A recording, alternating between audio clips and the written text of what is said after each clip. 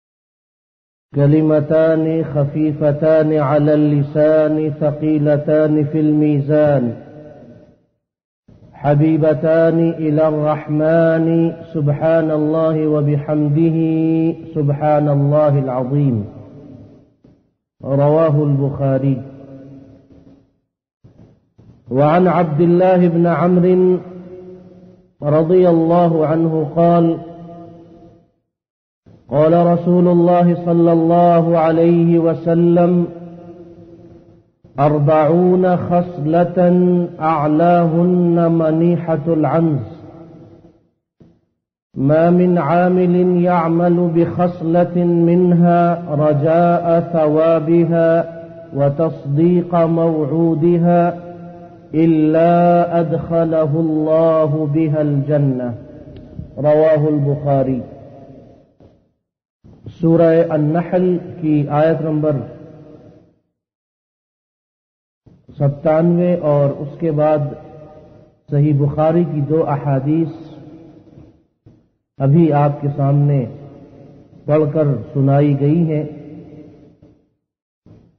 जो आयत पढ़ी गई है, इसमें अल्लाह ताला ने उन अमाल सालिहा का ज़िक्र किया है।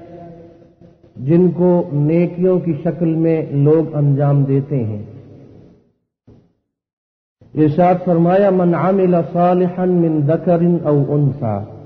जो कोई भी नेक काम करे, नेकी का कोई भी काम, और नेकी को अमल सालिह कहते हैं। कोई भी किसी भी किस्म की नेकी करे किसी भी किस्म का अमल सालिह करे, मिन दकरिन औ उनसा, मर्द हो या औरत। जो शख्स भी नेकी करेगा वह वो मर्द हो या औरत। इस नेकी करने का बदला अल्लाह ताला के यहाँ उसे क्या मिलेगा? इरशाद फरमाया कि अल्लाह ताला के यहाँ उसके लिए एक तो वो अजीम अजर और सवाब और अच्छा बदला है, जो दुनिया में पाक, साफ़, इत्मीनान और सुकून वाली ज़िंदगी की शक्ल में होगा। फलानुहयन्नहु हयातन तय्यबा। पाक, साफ़ और सुकून और इत्मीनान वाली ज़िंदगी अल्लाह ताला इस शख्स को अता करेंगे जो आमाल सालिहा को अंजाम देगा, नेकियाँ करेगा। और वला नजजियन्नहुम अजरहुम बि अहसन मा कानू यामलून। और जो नेकियाँ भी इन्होंने की, उनका अच्छा अजर अल्लाह ताला इनको देगा। मुफसरीन ने इरशाद फरमाया कि इससे मुराद आखिरत का बेहतरीन बदला है जो अल्लाह ताला अमाल सालिहा करने वालों को देता है। पहली हदीस जो पढ़ी है उसकी रिवायत सैदना अबू हुरैरा रज़ी अल्लाह ने की है। उस हदीस में रसूलुल्लाह सल्लल्लाहु अलैहि वसल्लम ने इरशाद फरमाया कि दो ऐसे कलमे हैं, दो ऐसे जुमले हैं, जो ज़ुबान पे बहुत हल्के फुलके और अगर उनका वज़न करो तो वज़न में बहुत भारी। और रहमान यानी अल्लाह ताला को बहुत पसंद हैं, बहुत अच्छे लगते हैं। क्या है? सुबहान अल्लाह व बिहमदिही सुबहान अल्लाह और इसके बाद जो हदीस पढ़ी गई है, वो भी सही बुखारी ही की हदीस है। सैदना अब्दुल्लाह इब्न अमर रदी अल्लाह अनहुमा ने रिवायत किया, रसूलुल्लाह सल्लल्लाहु अलैहि वसल्लम के इरशाद के अरबाउन खसलतन, चालीस ऐसी नेकियाँ हैं, अच्छी आदतें हैं, नेक काम हैं आलाहुन्ना जिनमें, जिन चालीस नेकियों में की सबसे अच्छी उम्दा भली और ज़्यादा अज्र और सवाब वाली नेकी है मनीहतुल अंज दूध देने वाला जानवर या दूध देने वाली ऊंटनी किसी को देना। मैं मिन आमिल या अमल बेखसलतिन मिनहा रजा सवाबिहा व तस्दीक मवरूदिहा इल्ला अदखल बेहल जन्नत। जो शख्स भी इन नेकियों में से किसी नेकी को अंजाम दे अल्लाह ताला के यहाँ से सवाब की उम्मीद रखते हुए और जिस सवाब का वादा किया गया है, उसका यकीन करते हुए, मगर यह कि अल्लाह ताला इस शख्स को जन्नत में दाखिल कर देंगे तो सूरह नहल की ये आयत और ये दो हदीसें हमने इसलिए आपको पढ़ के सुनाई हैं, ताकि आपके सामने इस मसले को बयान किया जाए कि बहुत सारी ऐसी नेकियाँ हैं जो जाहिरी तौर पे हल्की फुल्की हैं, मामूली हैं। और हम लोग उनको मामूली नेकी समझ के अहमियत नहीं देते, छोड़ देते हैं, जाया कर देते हैं, जबकि अगर इन छोटी छोटी मामूली हल्की फुल्की नेकियों को भी इखलास के साथ अगर अदा किया जाए तो यकीनन अल्लाह ताला इस शख्स से राज़ी और खुश हो और इसको जन्नत में दाखिल फरमाए। नेकी किसी भी शक्ल में हो, जाहिरी हो, या छुपी हुई हो, हल्की फुल्की हो या भारी हो, हमें किसी भी नेकी को मामूली नेकी नहीं समझना चाहिए। पहली बात जो ज़रूरी है वो ये है कि किसी भी नेकी को हमें मामूली नेकी समझकर जाया नहीं करना चाहिए, उसे तर्क नहीं करना चाहिए, उसे छोड़ना नहीं चाहिए, बल्कि उस पर फ़ौरन अमल करना चाहिए। सही मुस्लिम की एक हदीस में आप वसलाम ने इर्शाद फरमाया कि, ला तहरन्न मिनल मारूफ शैआ किसी भी नेकी को मामूली नेकी न समझो। ला तहरन्न मिनल मारूफ शैआ वलऊ अनतलका अखा का बिवजहिन फलीक अगर अपने मुसलमान भाई से अच्छा चेहरा लेकर मिलने के बारे में अगर तुम्हें कोई शख्स बताए कि ये भी नेकी है तो इसको भी जाया मत करो। इस पर भी फ़ौरन अमल करो। यानी अगर आपको ये बताया गया कि अपने किसी मुसलमान भाई से अच्छा चेहरा लेकर हँसी खुशी हशाश वशाश चेहरे से उसके साथ मिलना हाथ मिलाना, उससे खैरियत दरियाफ्त करना यह नेकी है तो इसको मामूली नेकी समझ के और मामूली चीज़ समझ के जाया मत करो, बल्कि इस पर फ़ौरन अमल करो। तो ये हदीस हमें ये बताती है कि नेकी ख्वाह वो हल्की फुल्की ही क्यों ना हो, हमें उस पर अमल करना चाहिए और उसे तर्क और जाया नहीं करना चाहिए। एक मुतफक आल हदीस में रसूलुल्लाह सल्लल्लाहु अलैहि वसल्लम ने मुसलमान खवातीन से खास तौर पर खिताब करके इर्शाद फरमाया कि, या निसा मुस्लिमत, ला तहकिरन्न जारतुन लिजारतिहा वलौ फिरसी नशा इर्शाद फरमाया कि, ए मुसलमान औरतों, कोई भी औरत अपनी किसी पड़ोसन के साथ किसी भी किस्म की नेकी को हकीर, हल्की फुल्की और मामूली न समझे ख्वा वो बकरे की, सिरी या बकरे की, खरी ही क्यों ना हो? बाज़ात ये होता है कि घर में कोई चीज़ पकती है तो औरतें ये समझती हैं कि चूँकि आज दाल पकी है, इसलिए ये पड़ोसन को नहीं देना चाहिए।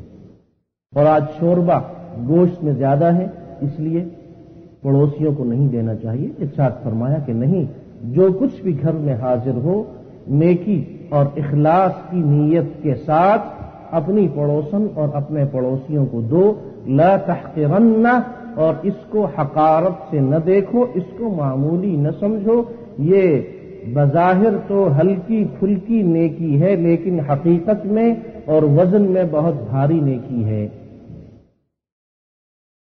और इसी मफहूम को सही मुस्लिम और तिरमिदी और इबन माजा की एक और हदीस में इस तरीके पर इरशाद फरमाया कि इज़ा आमिल मरकतन माहा वगरुफ लीजिरानी का मिन्हा।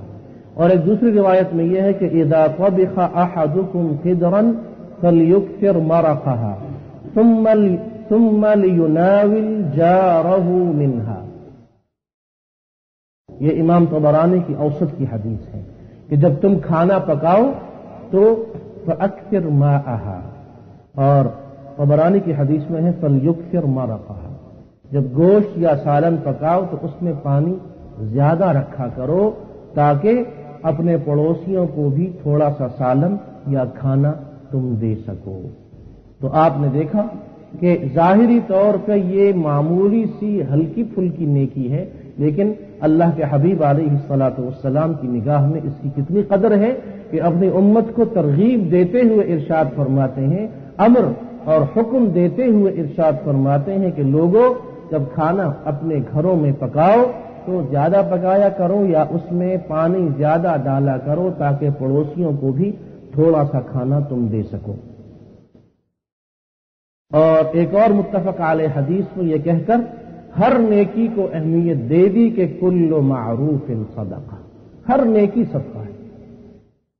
हल्की फुल्की हो, मामूली हो, छोटी सी हो, तुम भी उसे मामूली समझते हो, लोग भी उसे मामूली समझते हो, लेकिन तुम्हें क्या पता कि अल्लाह और उसके रसूल की निगाह में उसकी कितनी अहमियत और कितनी वक़्त और कितनी कदर कीमत है, कितना वज़न है।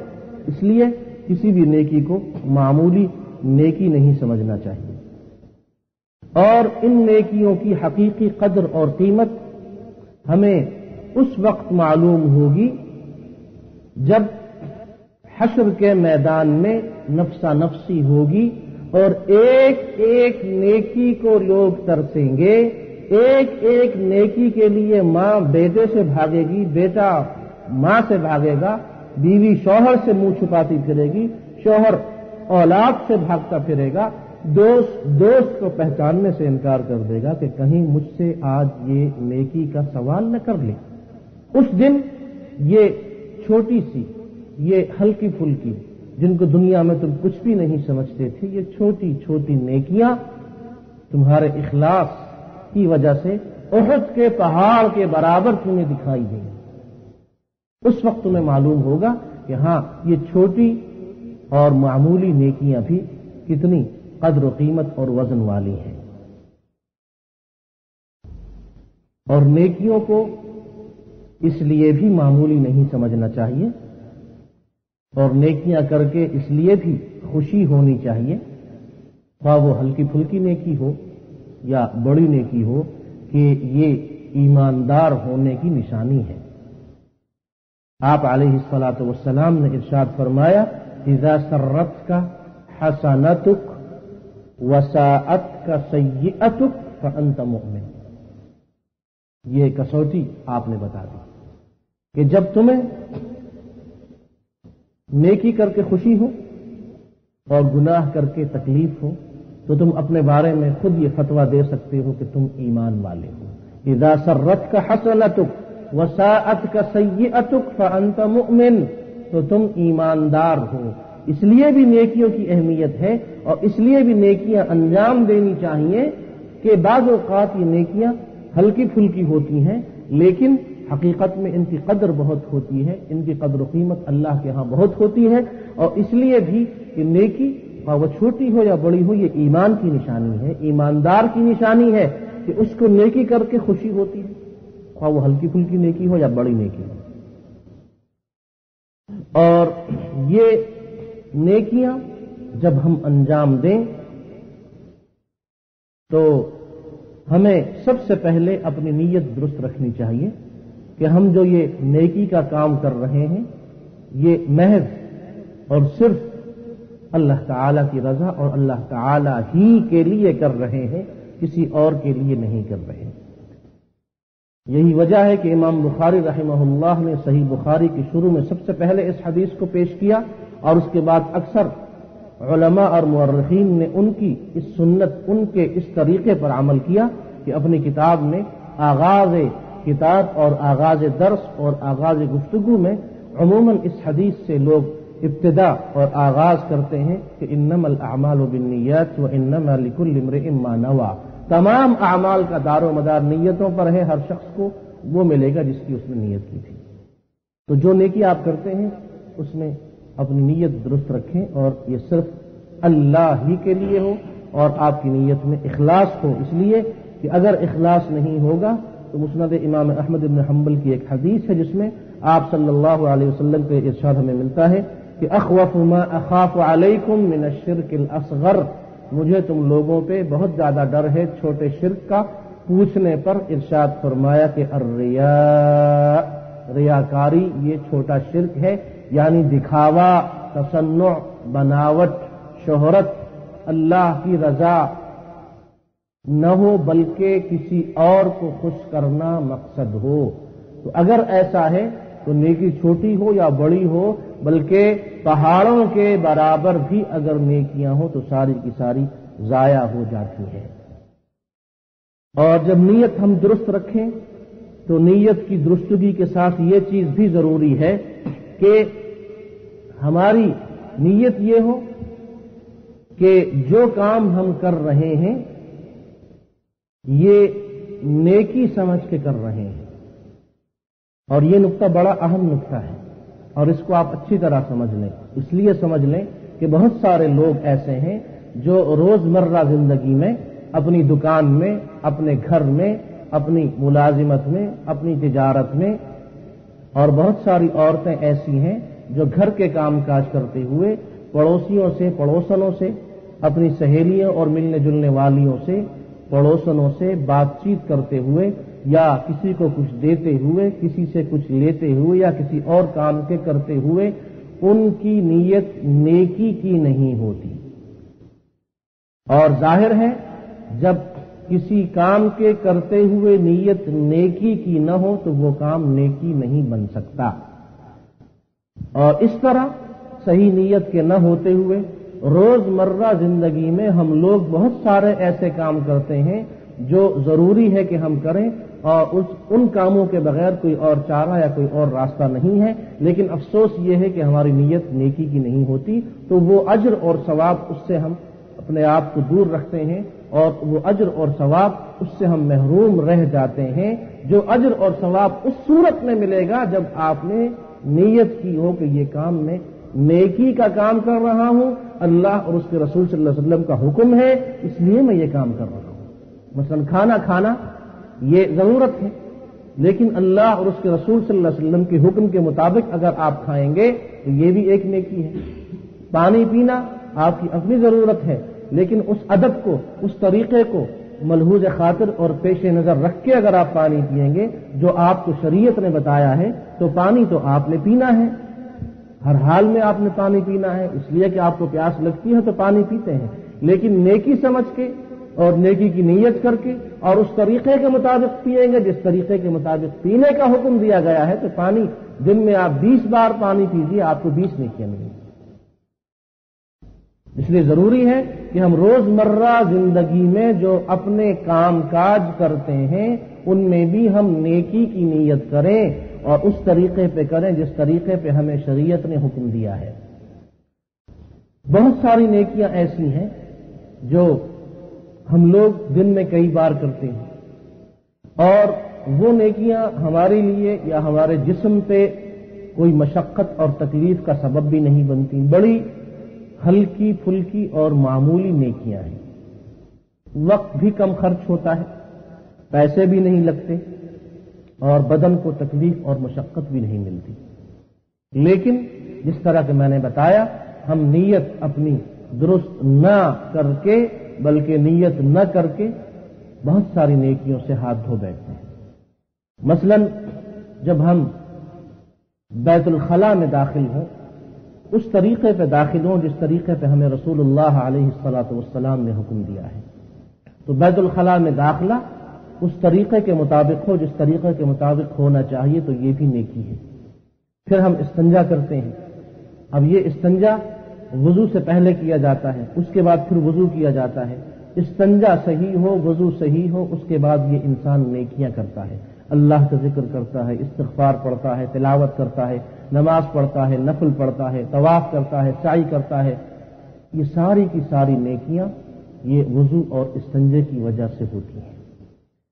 और वज़ू के बारे में आप सलाम ने इरशाद फरमाया सही मुस्लिम में सैदना इबन अफ़ान रज़ी अल्लाह ने रिवायत किया कि मन तवद्दन अलवदू अखरजत खतायाहु मिन जसदिही हत्ता यखरुज मिन तहत अबसार नाखुन के नीचे और नाखुन के पीछे जो मैल छुपा हुआ होता है, जिस तरीके पे पानी आप तेज अगर बहाइए, उस तेज पानी के बहाव की वजह से वो मैल और वो कचरा और वो मट्टी जिस तरीके पे निकल जाती है, फरमाया कि अगर ऐसी किसी जगह पे कोई गुनाह छुपा हुआ हो, इस शख्स के बदन पे, उस गुनाह को ये वज़ू का पानी और ये वज़ू धो देता है। अब बजाहिर वज़ू करना एक मामूली नेकी है। हल्की फुल्की नेकी है। हमारी निगाह में इसकी शायद वो वक़्त न हो। लेकिन आपने अंदाज़ा लगाया कि नाखून के नीचे जो छुपे हुए गुनाह हैं, उनको भी वज़ू का पानी धो देता है और अल्लाह ताला अपने फजल करम से गुनाहों को माफ़ कर देता है। और एक दूसरी हदीस में इरशाद फरमाया कि हर वो कतरा जो वज़ू करते हुए ज़मीन पे गिरता है, हर कतरे के साथ इसका एक गुनाह ज़मीन पे गिरता है और माफ़ हो जाता है। हत्या के जब वज़ू का आखिरी कतरा इसके बदन से वज़ू करते हुए ज़मीन पर टपकता और गिरता है तो इसका आखिरी गुनाह उसके साथ टपकता है, गिरता है, खत्म हो जाता है। और जब ये वज़ू से फारिग होता है हत्या यखरुजा नकीयम मिनदनूब वज़ू जैसे ही खत्म हुआ तो ये वज़ू करने वाला शख्स तमाम गुनाहों से पाक, साफ़ होके निकलता है। अब ये वज़ू सही तरीके से करना मामूली नेकी है हल्की फुल्की नेकी है। और ये वो नेकी है, इसके लिए किसी मशक्कत की, मेहनत की ज़रूरत भी नहीं है। खातन घर में जब वज़ू करती हैं, ये नेकी बड़ी आसानी से कमा सकती हैं। मर्द किसी भी जगह वज़ू करें, बड़ी आसानी से जाहरी तौर पे हमें नज़र आती है मामूली काम है हल्का फुल्का लेकिन इसकी कीमत, इसका वज़न क्या है? कि जब इंसान वज़ू से फारिग होता है तो सारे गुनाहों को अल्लाह ताला माफ़ फरमा देता है। सगीरा गुनाह माफ़ हो जाते हैं। जितने भी सगीरा गुनाह है, अल्लाह ताला सबको मुआफ कर देता है। इसीलिए आप सलाम ने इर्शाद फरमाया, अला अदुल्लुकुम अलामा यमहुल्लाह बिहिल खताया व यरफा बिहिद दरजात। क्या मैं तुम्हें ऐसी चीज़ न बता दूँ जिससे गुनाह माफ़ होते हैं, दराजात बुलंद होते हैं? इर्शाद फरमाया इसबागुल वुदू अल मकार व कसरत उलखुता इल मसाजिद व इंतज़ार सलात मशक्क़त की हालत और अयाम में वज़ू करना और नमाज़ के बाद दूसरी नमाज़ का इंतज़ार करना और कसरत से मस्जिदों की तरफ़ जाना ये हल्की फुल्की नेकियाँ हैं लेकिन इनका वज़न इनकी कीमत अल्लाह की निगाह में बहुत है और जब वज़ू से आप फारिग हो और उसके बाद जो ही वज़ू से आप फारिग हों, आप ये पढ़ें, अशहद अल्लाह व अशहद अन्न मोहम्मदन अब्दू व रसूल और एक रिवायत में है, अशहद अल्लाह व अन्न मोहम्मदन अब्दुल्लाह व रसूल इल्ला फुतहत लहू अबवाबुल जन्नत यदखुल मिन अय्युहा शाह। ये दुआ जो पढ़ता है, उसके लिए जन्नत के आठों दरवाजे खुल जाते हैं। जिस दरवाजे से वो चाहे तो जन्नत में दाखिल हो। आपने वज़ू किया और वज़ू के बाद ये पढ़ा, अशहद अन्न मोहम्मद रसूलुल्लाह। या, वो अन्न मोहम्मदन अब्दू व रसूल अशहद अल्लाह वहदहू ला शरीक ला व अशहद अन्न मोहम्मदन अब्दू व रसूल मुख्तलिफ़ सीगे इस दूसरे कलमे के अहादीस में आए हैं। तो अगर ये दुआ आपने पढ़ी तो जन्नत के आठों दरवाजे आपके लिए खुल जाएँगे। और इर्शाद फरमाया दूसरी हदीस में कि इसके साथ ये दुआ भी पढ़ लेनी चाहिए कि अल्लाह मजअलनी मिन तवाबीन और जालनी मिनल मुतहिरीन ए अल्लाह, मुझे तौबा करने वालों, बहुत तौबा करने वालों में से बना दे और बहुत ज़्यादा पाक साफ़ लोगों में से ए अल्लाह, तू मुझे बना दे। और जब आप वज़ू कर चुके और इस छोटे से अमल के बदले इतनी बड़ी नेकी, बल्कि इतनी बड़ी नेकियाँ आपने कमा ली अजर और सवाब की शक्ल में तो अब आप एक और हल्का फुल्का काम करें, जो एक मामूली नेकी और छोटी सी नेकी की शक्ल में है। बहुत मुश्किल काम नहीं है, मशक्कत वाला काम नहीं है उस पर वक्त भी कम लगता और खर्च होता है। आप जो ही वज़ू करें, दो रकात नफल तहैयतुल वज़ू की नीयत से पढ़ लें। रसूलुल्लाह अलैहिस्सलाम ने बिलाल रबी अल्लाह से कहा कि, या बिलाल अमल आमिलतहु फिल इस्लाम, फ़इन्नी समिअतु दफन अलई का बैन फिल जन्ना बिलाल, तुम कौन सा वो काम करते हो जिसकी वजह से मैंने जन्नत में तुम्हारे कदमों की, तुम्हारे जूतों की आवाज़ सुनी है? और तुम मुझसे भी आगे आगे चल रहे थे। तो बिलाल रज़ी अल्लाह ने इर्शाद फरमाया कि जब भी मैं वज़ू करता हूँ तो दो रकात नफल पढ़ लेता हूँ। ये वो नेकी है जो जाहिरी तौर पे हल्की फुल्की नेकी है, लेकिन आप इसकी कदर कीमत का अंदाज़ा इससे लगाइए कि बिलाल रज़ी अल्लाह के जूतों, यानी उनके चलने की आवाज़ जन्नत में रसूलुल्लाह सल्लल्लाहु अलैहि वसल्लम सुनते हैं। वज़ू के बाद की दो रकात नफल, तहैयतुल मस्जिद। और इसी तरह मामूली और हल्की फुल्की नेकियाँ, जो जाहिरी तौर पर मामूली और हल्की फुल्की हैं, लेकिन वज़न में और अजर और सवाब में बहुत भारी हैं। उनमें चौथी नेकी ये है कि हम जो फ़र्ज़ नमाजें पढ़ते हैं, फ़र्ज़ नमाजों के अलावा हमें सुन्नतें और नफल नमाजें भी खूब कसरत से पढ़नी चाहिए। जिन पर बहुत ज़्यादा वक्त नहीं लगता। हर नमाज़ से पहले और उसके बाद दो, चार, छह रकातें हमें ज़रूर पढ़ लेनी चाहिए। घर में रात को सोने से कबल दो, चार, छह, आठ रकातें नफल हमें ज़रूर पढ़ लेनी चाहिए। रसूलुल्लाह अलैहिस्सलाम ने इरशाद फरमाया कि जब नमाज़ का हिसाब किताब होगा और किसी शख्स की फ़र्ज़ नमाजों में कमी रह जाएगी तो अल्लाह ताला इरशाद फरमाएँगे, उन्दुरु हल अब्दी मिन ततव्वुइन.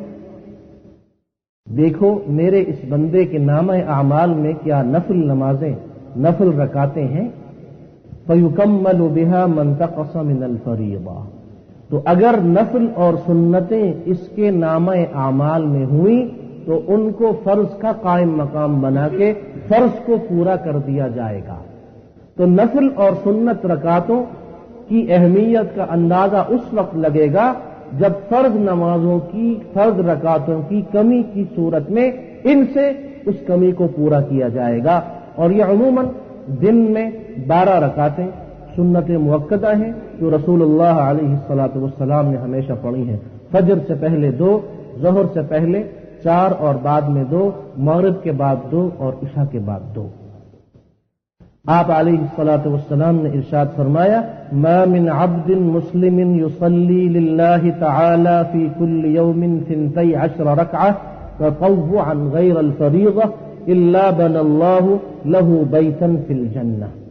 जो शख्स भी इन बारह रकातों को पढ़ेगा, अल्लाह ताला जन्नत में उसके लिए घर बनाएँगे।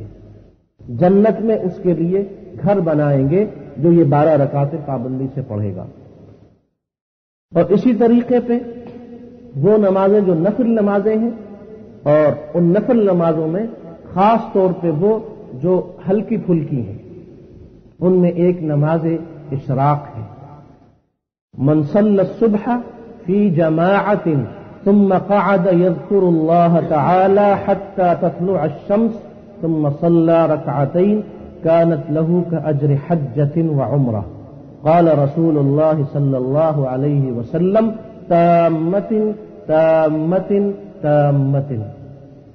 जो फजर की नमाज जमात से पढ़े और उसके बाद अल्लाह का जिक्र करता रहे वहां बैठकर जहां उसने फजर की नमाज पढ़ी यहां तक कि सूरज तुलू हो जाए और उसके बाद अगर ये दो रकात नमाज नफल इशराक की पढ़े तो इसको हज और उम्रे का सवाब मिलेगा।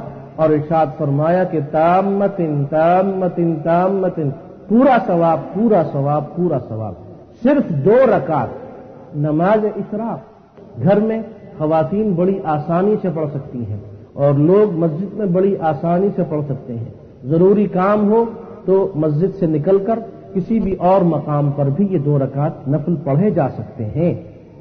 और दो रकात, मामूली, हल्की, फुल्की, हमें ये दो रकातें नज़र आती हैं, लेकिन आप अंदाज़ा लगाइए कि हज और उम्र के बराबर सवाब और पूरा सवाब पूरा सवाब पूरा सवाब, जिस तरह के आप सलाम ने इर्शाद फरमाया।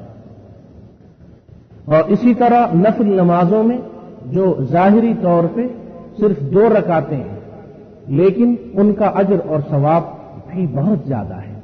वो चाश की नमाज़ है जो सूरज जब अपनी गर्मी फेंकता है, इसकी तपिश खूब गर्म हो जाती है तो तकरीबन नौ दस बजे के करीब ये चाश की नमाज़ का वक्त है, जो दो रकाते हैं, कम अज कम और ज़्यादा से ज़्यादा चार रकाते, छह रकाते या आठ रकातें।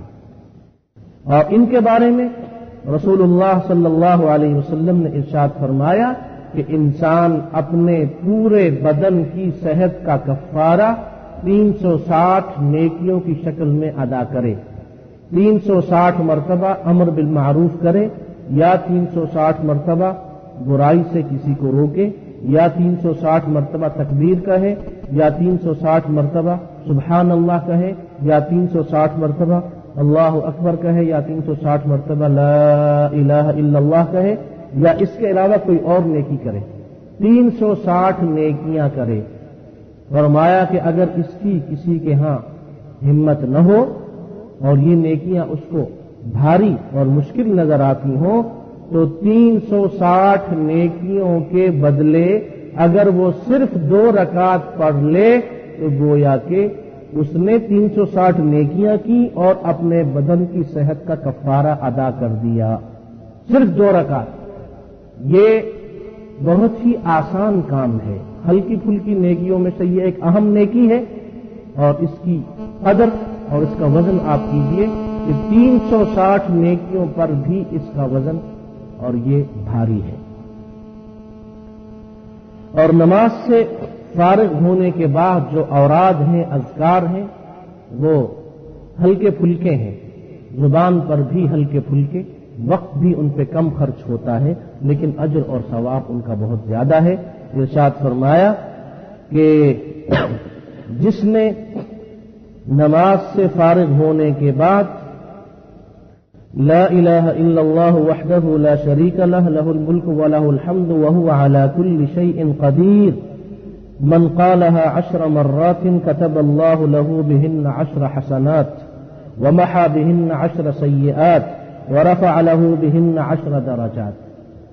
जो दस मरतबा कहे उसको दस नेकियाँ मिलेंगी, दस गुना माफ़ होंगे, दस दर्जे उसके बुलंद होंगे। वकुन लहू इदला इताकत अरबा रिकाबिन। और इसको मजीद ये अजर और सवाब भी मिलेगा कि चार गुलामों के आज़ाद करने का इसको सवाब मिलेगा। चार गर्दनें छुड़ाने का इसको सवाब मिलेगा।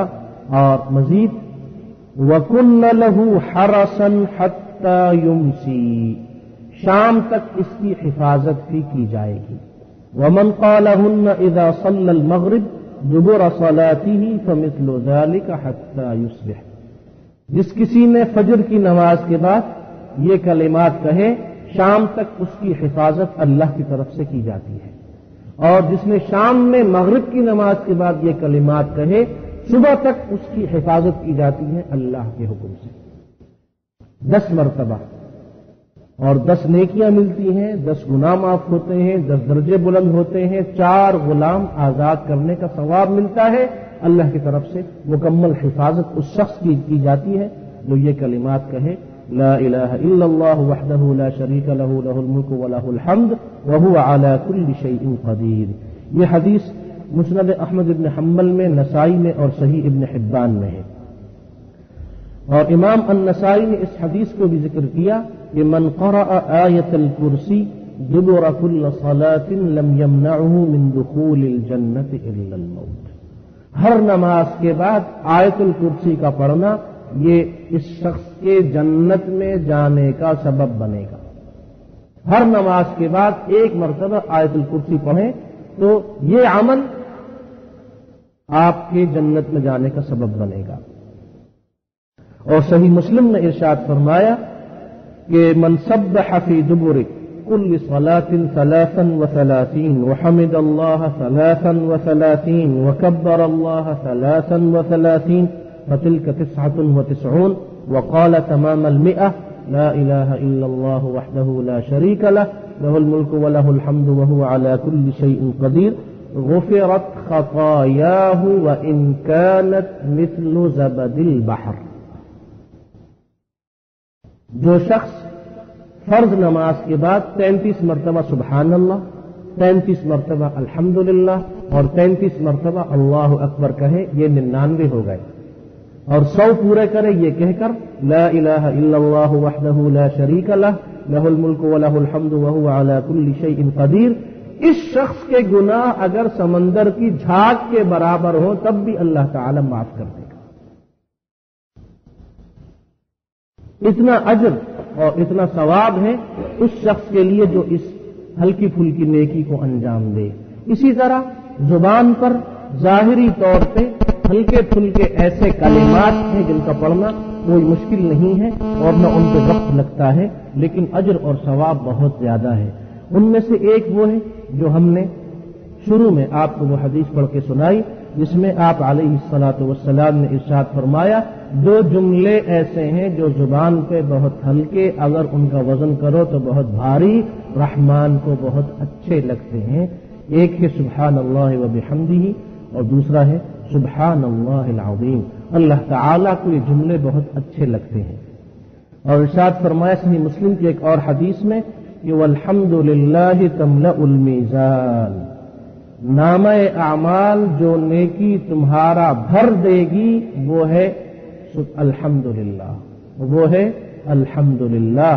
और वो सुबहान अल्लाह वल्हम्दुलिल्लाह तमलान सुबहान अल्लाह अल्हम्दुलिल्लाह, ये तुम्हारा नाम आमाल भर देंगे। अगर तुम चाहते हो कि तुम्हारा नाम आमाल नेकियों से भर जाए तो सुबहान अल्लाह अल्हम्दुलिल्लाह, पढ़ा करो। और उम्मुल मुमिनीन जुवैरिया बिनतुल हारिस रज़ी अल्लाह एक मरतबा फजर की नमाज़ के बाद रसूलुल्लाह सल्लल्लाहु अलैहि वसल्लम ने इनको देखा और तशरीफ़ ले गए और उसके बाद इनके पास आए और इरशाद फरमाया कि तुम अभी तक वहीं बैठी हो। जहाँ तुम नमाज़ पढ़ के मैंने तुम्हें बैठते हुए देखा था, इन्होंने अर्ज़ किया कि हाँ मैं वहीं अब तक बैठी हूँ। तो आप वसलाम ने साथ फरमाया कि मैंने तो उस वक्त के बाद एक ऐसा कलमा कहा है कि अगर उसका वज़न किया जाए तो जितनी नेकियाँ आज के दिन की जाएँगी, इन सारी नेकियों के मुकाबले में वो कलमा और वो दुआ सबकत ले जाए और उनका वज़न बहुत ज़्यादा हो। इर्शाद फरमाया कि वो क्या है? सुबहान अल्लाह व बिहमदी आदद खल्की व रिदा नफसी व जीनत अरशी व मिदाद कलीमात अल्लाह ताला की तस्वीर और तहमीद बयान की जा रही है कि जिस जितनी उसकी मखलूक है, उसकी मखलूक के बराबर। और जितना वो खुश होना चाहता है उसकी खुशी के बराबर और उसके आर्श की खूबसूरती और वज़न के बराबर और जितने कलिमात अल्लाह ताला के लिए हैं, उनकी लंबाई और उनके आदत, उनकी तादाद के बराबर। इस तादाद में अल्लाह ताला की तस्वीर और तहमीद बयान की जानी चाहिए। इशाद फरमाया कि ये वो कलमा है सुबहान अल्लाह व आदद खल्की व रिदा नफसी व जिनत आरशी व मिदाद कलिमात ये हल्का फुल्का जुमला आप वसलाम ने उम्मुल जुवैरिया रबी अल्लाह अनहा को सिखाया कि दिन भर की सारी नेकियाँ एक तरफ़ और ये एक कलमा एक तरफ़ चंद लम्हे इस कलमे पे पढ़ते हुए खर्च होते हैं खातन बड़ी आसानी के साथ इसको पढ़ सकती हैं और मर्द भी बड़ी आसानी के साथ इसको पढ़ सकते हैं। घर में भी, दौरान मुलाजिमत भी, दौरान सफ़र भी इस दुआ को और इन मुबारक कलिमात को पढ़ा जा सकता है। और वो तो आप सुन चुके हैं कि अला अजुल्लुका अला कंजिन मिन कुनूजिल जन्नह। क्या मैं तुम्हें जन्नत के खजानों में से एक खजाने का पता न बताऊँ? आप सलाम ने सैदना अबू दर रबी अल्लाह से कहा था, ला हौला वला इल्ला बिल्लाह। ला हौला वला इल्ला ये जन्नत के खजानों में से एक खजाना है। और इसी तरह ज़ुबान पे हल्के फुल्के कलमे और जुमले और दुआएँ और सूरतें, उन्हीं में एक वो है जो इमाम अतिरमिदी ने नकल किया। इर्शाद फरमाया, रसूलुल्लाह सल्लल्लाहु अलैहि वसल्लम ने, इकरा अहद वल मुआविदतैन तुमसी व हीन तुस्बिह सलास मर्रातिन तकफीका मिन कुल्ली शै सुबह शाम तीन तीन बार पढ़ा करो कुल हु अल्लाह अहद कुल अऊद बिरब्बिल फलक कुल अऊद बिरब्बिन नास हर चीज़ से तुम्हारे लिए किफायत होगी हर चीज़ से तुम्हारे लिए किफायत होगी तीन तीन बार अब तीन मरतबा ये तीन सूरतें पढ़ते हुए कितना वक्त लगता है? सुबह तीन मरतबा पढ़ लीजिए और शाम को तीन मरतबा पढ़ लीजिए तो इशाद फरमाए कि हर चीज़ से अल्लाह ताला के फजल करम से आपके लिए किफायत और हिफाजत हो गई। और अबू दाऊद और तिरमिजी की एक और हदीस में इरशाद फरमाया कि जो शख्स तीन मरतबा इस दुआ को पढ़े तो उसे किसी भी किस्म की कोई भी मखलूक तकलीफ़ नहीं पहुँचा सकती। बिस्मिल्लाहिल्लज़ी ला यदुर्र मअस्मिही शैउन फिल अर्द वला फिस समा वहुव समीउल अलीम। तीन मरतबा पढ़िए तो बिच्छू, सांप या किसी भी किस्म की और शरीर मखलूक आपको नुकसान नहीं पहुँचा तीन मरतबा सुबह और तीन मरतबा शाम। ये हल्की फुल्की नेकियाँ हैं जिनसे इंसान अपने आप को अल्लाह की हिफाजत में दे देता है। और जो अल्लाह की हिफाजत में चला जाए न इंसानी शैतान उसको तकलीफ़ पहुँचा सकते हैं न जिन्नात उसको परेशान कर सकते हैं और न, को, न कोई और मूजी मखलूक उसको तकलीफ़ या अजियत पहुँचा सकती है। और इसी तरीके पे इस्तफार की कसरत अस्तगफिरुल्लाहल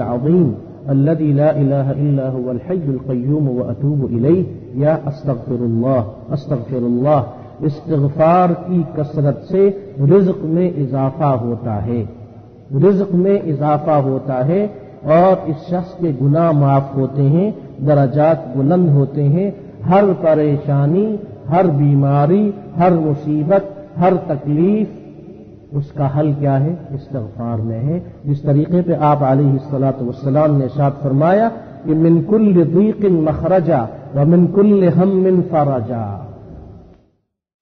इन्हीं हल्की फुल्की नेकियों में अल्लाह ताला का ज़िक्र है, उठते बैठते अल्लाह का ज़िक्र करना, अल्लाह की तस्वीर बयान करना, अल्लाह की तहलील बयान करना। और इन्हीं हल्की फुल्की नेकियों में रसूलुल्लाह पर दरूद सलाम पढ़ने का मामला भी है कि आप पर कसरत से सलाम पढ़ा जाए। और ये सलाम और वो दरूद जो हम नमाज़ में पढ़ते हैं, वो तो एक तवील दरूद है और तवील सलाम है, लेकिन इसके अलावा भी ऐसे सलाम मौजूद हैं। मसलन सल्लल्लाहु अलैहि वसल्लम, या अल्लाह वसल्लम मुबारक अलैहि, ये मुख्तसर दरूद हैं जो कि वक्त की कमी की वजह से अजर और सवाब में इंशा अल्लाह उतने ही अल्लाह को महबूब हैं और बंदे को फ़ायदा पहुंचाते हैं, जितना के तवील दरूद हैं, बशर्ते कि इंसान की नीयत दुरुस्त हो और नीयत में इखलास हो। आप सलाम ने इर्शाद फरमाया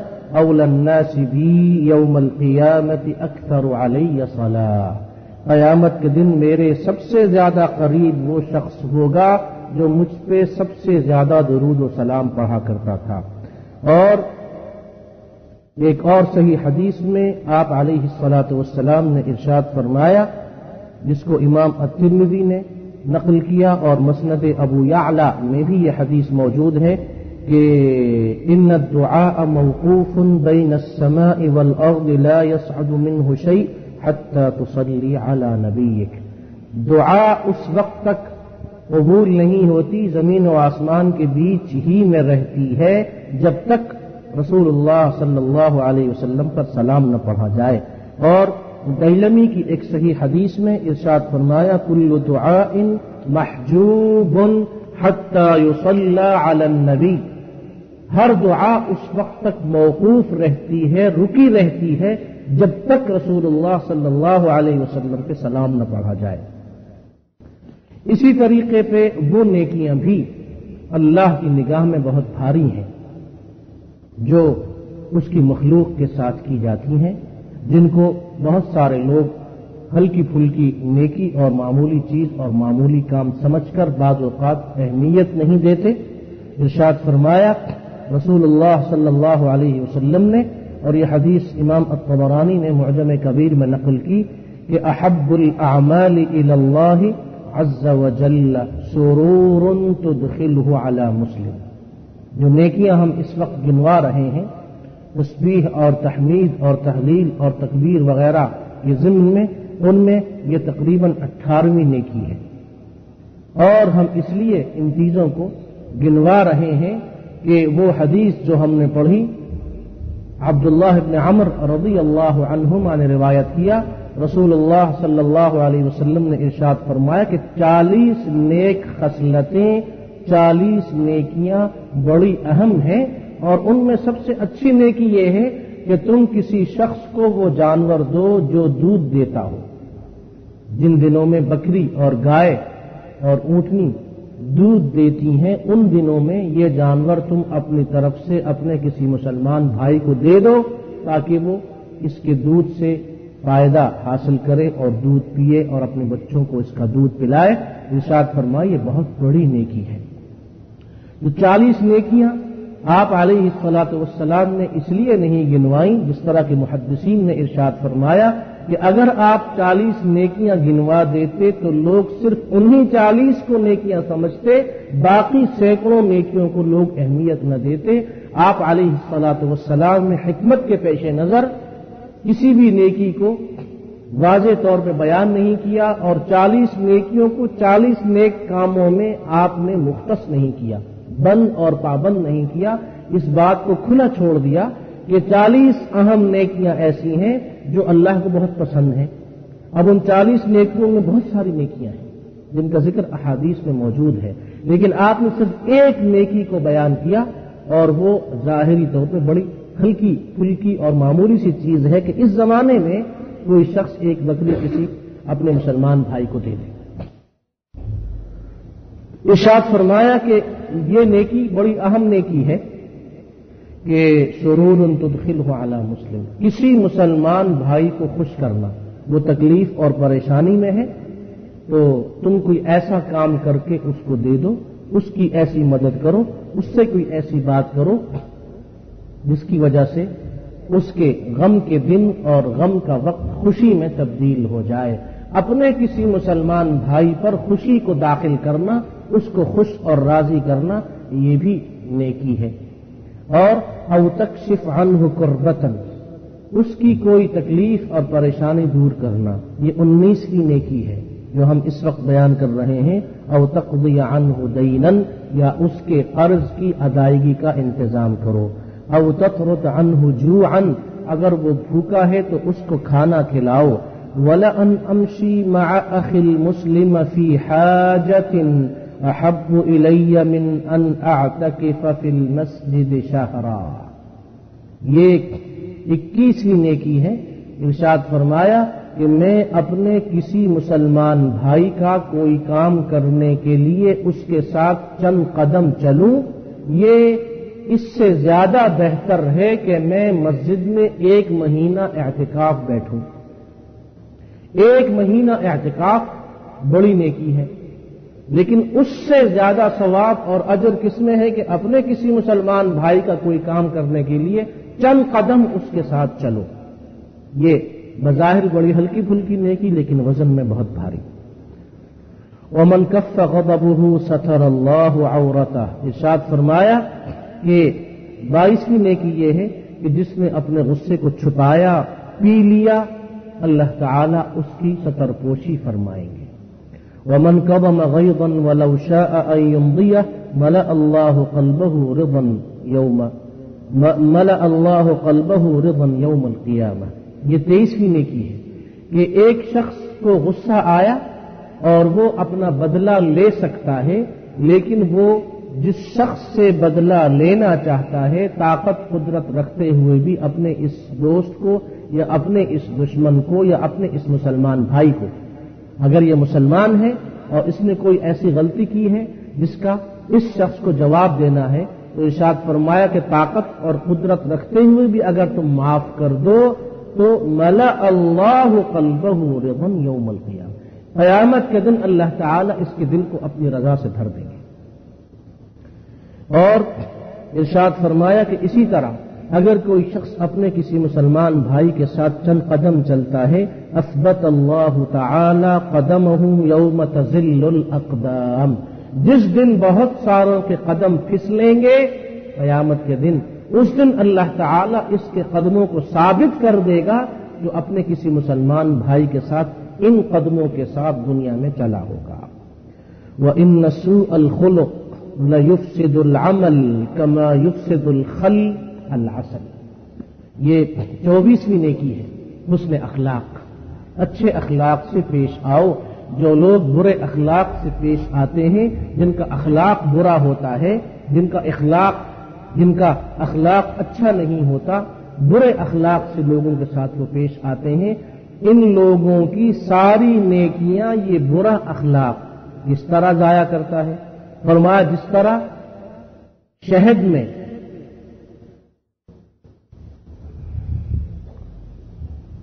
जिस तरीके से शहद में अगर आप सिरका डालें, चंद कतरे भी सिरके के अगर आप शहद में डालें तो वो शहद को खराब कर देता है। इसी तरह थोड़ी और मामूली सी बदअखलाकी भी इंसान की सारी नेकियों को जाया कर देती है।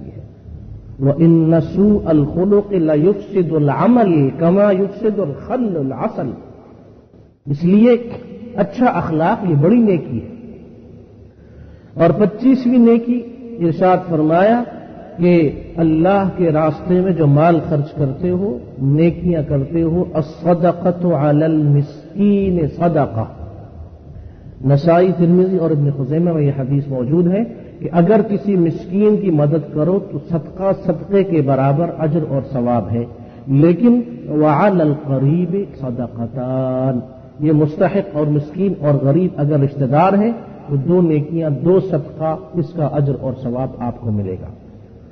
और इर्शाद फरमाया कि इसी तरीके पे वो नेकियाँ, जो बड़ी हल्की फुल्की नेकियाँ होती हैं, लेकिन उनका वज़न बहुत होता है आप सलाम ने इर्शाद फरमाया कि अल ईमान वल जिहाद फ़ी सबीली, सबसे अफजल अमल ईमान और जिहाद। उसके बाद अबू जर रज़ी अल्लाह ने जब पूछा, उसके बाद कौन सा अमल? इर्शाद फरमाया कि किसी को आज़ाद करना अनफसुहा इंद अहलिहा व अक्सरुहा समना किसी शख्स को आज़ाद करना। उसको आज़ाद करना, ये भी नेकी है। और इर्शाद फरमाया कि तोईन सानअन, अगर कोई मुसलमान कोई काम करना चाहता है तो उसकी मदद करो, ये भी नेकी है। और अवतसना अखरका, और जो शख्स कोई काम करना चाहता है, बनाना चाहता है, लेकिन बना नहीं सकता, अपने मुसलमान भाई को कोई काम तुम बना के दे दो दुकान खोल के उसको दे दो, किसी जगह मुलाजिमत उसको दिला दो, या कोई और ऐसा काम वो बना नहीं सकता, बनाकर उसके हवाले कर दो, ये भी नेकी है।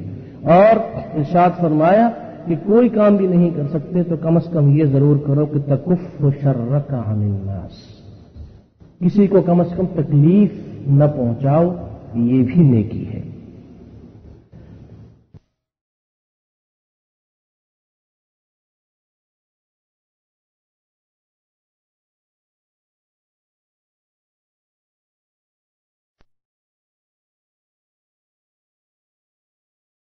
मदद करना या किसी मिस्कीन की मदद करना, ये कोई भारी और मुश्किल काम नहीं है।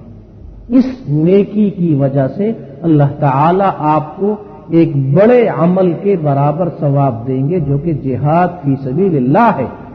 जिहाद फ़ी सबीलिल्लाह के बराबर अजर और सवाब आपको इस सूरत में मिलेगा कि किसी बेवा या मिस्कीन की मदद। यतीमों की मदद के बारे में इरशाद फरमाया कि कुरान में हमने पढ़ा, फ़अम्मल यतीम फला तखर।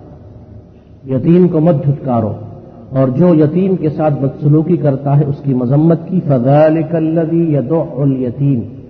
और आप अलैहिस्सलाम ने इरशाद फरमाया, अन व काफिदुल यतीम फिल जन्नत हकदा व अशार बिस्सबाबति वल अपनी शहादत की उंगली और दरमियानी उंगली को लोगों को दिखा के इर्शाद फरमाया कि मैं और यतीम की कफालत करने वाला शख्स जन्नत में इस तरह साथ साथ होंगे। ये सही बुखारी की हदीस है। वो नेकियाँ जो हल्की फुल्की नेकियाँ हैं और जिन नेकियों के करते हुए कोई ज़्यादा मशक्कत और तकलीफ़ नहीं उठानी पड़ती, उनमें नफली रोजों का अहतमाम करना। बजाय इसके कि हमेशा रोज़े रखे जाएँ या कसरत से रोज़े रखे जाएँ, जो कि मुस्तकिल एक अच्छी इबादत है। लेकिन अगर ये हिम्मत न हो, ये ताकत न हो तो इरशाद फरमाया कि अगर हर महीने सिर्फ़ तीन दिन रोज़े रख लिया करो तो गोया कि तुमने साल भर रोज़े रखे। सियाम सलासत अयाम मिन कुल्ल शहरिन सियाम दहर। अयामुलबीद सबीहत सलास अशरत व अरबा अशरत व खम्स अशरत नसाई की सही हदीस में इरशाद फरमाया कि अगर किसी महीने में तीन दिन तुम रोज़े रखो साल भर ये मामूल तुम्हारा हो कि हर महीने तीन रोज़े इस्लामी और हिजरी महीने की तेरहवीं तारीख चौदहवीं तारीख और पंद्रहवीं तारीख तो गोया कि तुमने साल भर रोज़े रखे क्यों एक नेकी दस के बराबर तीन रोज़े, एक रोजा दस के बराबर, तीन रोज़े तीस के बराबर, और रमज़ान का महीना तुमने खुद पूरा रोजा रखा। तो अगर बाकी ग्यारह महीनों में सिर्फ़ तीन दिन भी रोजा रखो तो तुम्हें अजर और सवाब कितना मिलेगा? गोया कि तुमने साल के बारह महीने रोज़े रखे। तीन दिन रोजा रखो तो तीस दिन रोजा रखने का सवाब। तीन दिन रोजा तीस दिन रोजा रखने का सवाब और साल के ग्यारह महीने, हर महीने में सिर्फ़ तीन दिन रोजा, गोया के साल के ग्यारह महीने तुमने रोजा रखा। और वो हदीसें हम सुन चुके हैं, जिसमें योम आशूरा और योम आरफा का रोजा है। योम आशूरा युकफ़िर सनत अलमादिया और योम आरफा युकफ़िर सनत अलमादियत वलबाकिया योम आरफा का जो रोजा है, वो दोनों साल के गुनाहों को माफ़ करता है। और योम आशूरा का रोजा वो गुजश्ता साल के गुनाहों को माफ़ करता है। एक दिन का रोजा साल भर के सगीरा सारे गुनाह अल्लाह ताला माफ़ कर देता है और एक दिन का रोजा दो साल के गुनाह अल्लाह ताला माफ़ करता है। सिर्फ़ एक दिन रोजा रखिए तो गुजश्ता साल के गुनाह भी माफ़ और आइंदा साल के गुनाह भी मुआफ। अब आप देखिए ये कितनी हल्की फुल्की नेकी है, मामूली नेकी है। एक दिन रोजा और पूरे साल भर के जितने गुनाह हैं, सब मुआफ और एक दिन रोजा और दो साल के गुनाह मुआफ ये वो नेकियाँ हैं जिनको हम अहमियत नहीं देते, लेकिन इनका वज़न इतना ज़्यादा है, इनका वज़न इतना भारी है, और इनकी कदर अल्लाह की निगाह में और उसके हबीब सलाम की निगाह में इतनी है कि बाकायदा तरगीब दे दे के लोगों को तैयार किया जाता है कि इन नेकियों को वो अपनाएँ। उनतीसवीं नेकी इन्फाक थी सबील्लाह कि अल्लाह के रास्ते में माल खर्च कीजिए। और माल खर्च करने से मुराद ये नहीं है कि ज़रूरी है कि आप हज़ारों और लाखों रुपया खर्च कीजिए, बल्कि सिर्फ़ एक रुपया भी अगर आप खर्च करें तो आपको सात सौ के बराबर अजर और सवाब मिलेगा। इमाम अहमद इबन हम्बल की मुसरत में यह हदीस है कि कयामत के दिन नफसा नफसी होगी, लोग परेशान होंगे और अपने अपने गुनाहों के लिहाज से पसीने में डूबे हुए होंगे। और उस दिन अल्लाह के अर्श के अलावा किसी और चीज़ का साया नहीं होगा। अल्लाह ताला अपने अर्श के साय में बाग खुशनसीब लोगों को जगह देंगे। उन्हीं में एक वो आदमी होगा जिसने अल्लाह की रजा के लिए सदका किया होगा। इर्शाद फरमाया, जब तक लोगों का हिसाब किताब खत्म नहीं हो जाएगा, ये सुकून से अल्लाह के अर्श के साय के नीचे जिस तरह कुछ और लोग बैठे हुए होंगे, ये देखेगा कुछ लोग अल्लाह के अर्श के साय तले बैठे हैं। इर्शाद फरमाया कि इसी तरीके पे ये शख्स जिसने सदका किया, इसके लिए अल्लाह ताला एक साया बनाएँगे। इसके सदक़े का साया होगा। उस साय के नीचे यह बैठा होगा जब तक लोगों का हिसाब किताब न हो जाए। इतनी बड़ी नेकी है ये अल्लाह की निगाह में, जिसको हम मामूली समझते हैं। इन्हीं हल्की फुल्की नेकियों में एक नेकी अल्लाह ताला की इस किताब हिदायत, यानी कुरान मजीद की तिलावत है। ये तीसवीं नेकी है, जिसको हम इस वक्त बयान कर रहे हैं। इर्शाद फरमाया कि कुरान वो किताब है कि या तो आपके हक में गवाही देगा या आपके खिलाफ गवाही देगा। और रसूलुल्लाह कयामत के दिन शिकायत करेंगे कि या रब्बी इन्ना कौमित कुरान महजूरा। सूरह फुरकान की आयत नंबर तीस में इरशाद फरमाया कि ये शिकायत होगी कि मेरी कौम ने कुरान को तर्क कर दिया था। तो कुरान का हक यह है कि इसको पढ़ें। और ये ज़रूरी नहीं है कि एक सिपारा, आधा सिपारा या चंद सफ़े रोज़ाना पढ़ें। एक आयत या आधा सफ़ा भी अगर रोज़ाना बाकायदगी से, तर्जुमे के साथ, समझ के, सही तलफ़ के साथ आप पढ़ लें, ये बहुत बड़ी नेकी है। इसलिए कि ये वो किताब है कि एक हर्फ के पढ़ने पे आपको दस नेकियाँ मिलती हैं। एक हर्फ अगर आपने पढ़ा, आपको दस नेकियाँ मिली। अगर आपने कहा अल्हम्दु तो ये पाँच हर्फ हैं। आपको पचास नेकियाँ मिल गई। अगर आपने कहा अलिफ्लाम नी तो तीन हर्फ हैं। आपको तीस नेकियाँ मिल गई। कितनी अजीम दौलत है, कितना बड़ा अजर और सवाब है। जिसको बहुत सारे लोग अहमियत नहीं देते और अपने दामन में नेकियाँ नहीं समेटते। तो एक हर्फ अगर आपने कुरान का पढ़ा तो आपको दस नेकियाँ उसके बदले अल्लाह ताला की तरफ़ से अता की जाएँगी। तो कुरान पाक से ज़िंदगी में तब्दीली आती है। कुरान पाक समझ के पढ़िए तो हलाल हलाल और हराम की तमीज पैदा होती है। अच्छे बुरे की समझ आती है। खैर और शर की समझ आती है। कुरान समझ के अगर नहीं पढ़ेंगे तो बहुत सारी चीज़ें इंसान की समझ में नहीं आ सकती। इसलिए ज़रूरी है कि कुरान को समझ के पढ़ा जाए। वह एक आयत रोज़ाना पढ़ें, लेकिन सही तरीके पे पढ़ें। हल्की फुल्की नेकियों में ये नेकियाँ भी शामिल हैं कि अल्लाह की तमाम मखलूक के साथ अच्छा सलूक किया जाए।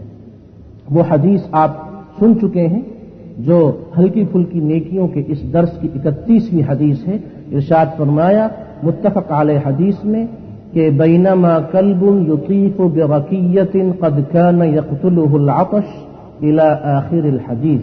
इरशाद फरमाया, रसूलुल्लाह सल्लल्लाहु अलैहि वसल्लम ने कि बनी इसराइल की एक फाहिशा और गंदी औरत सफ़र पे जा रही थी। रास्ते में उसने एक कुत्ते को देखा जो प्यास की वजह से मरने के करीब था।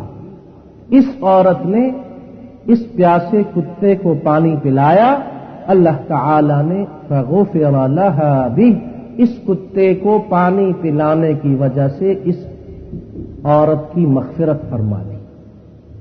सिर्फ़ कुत्ते को पानी पिलाया।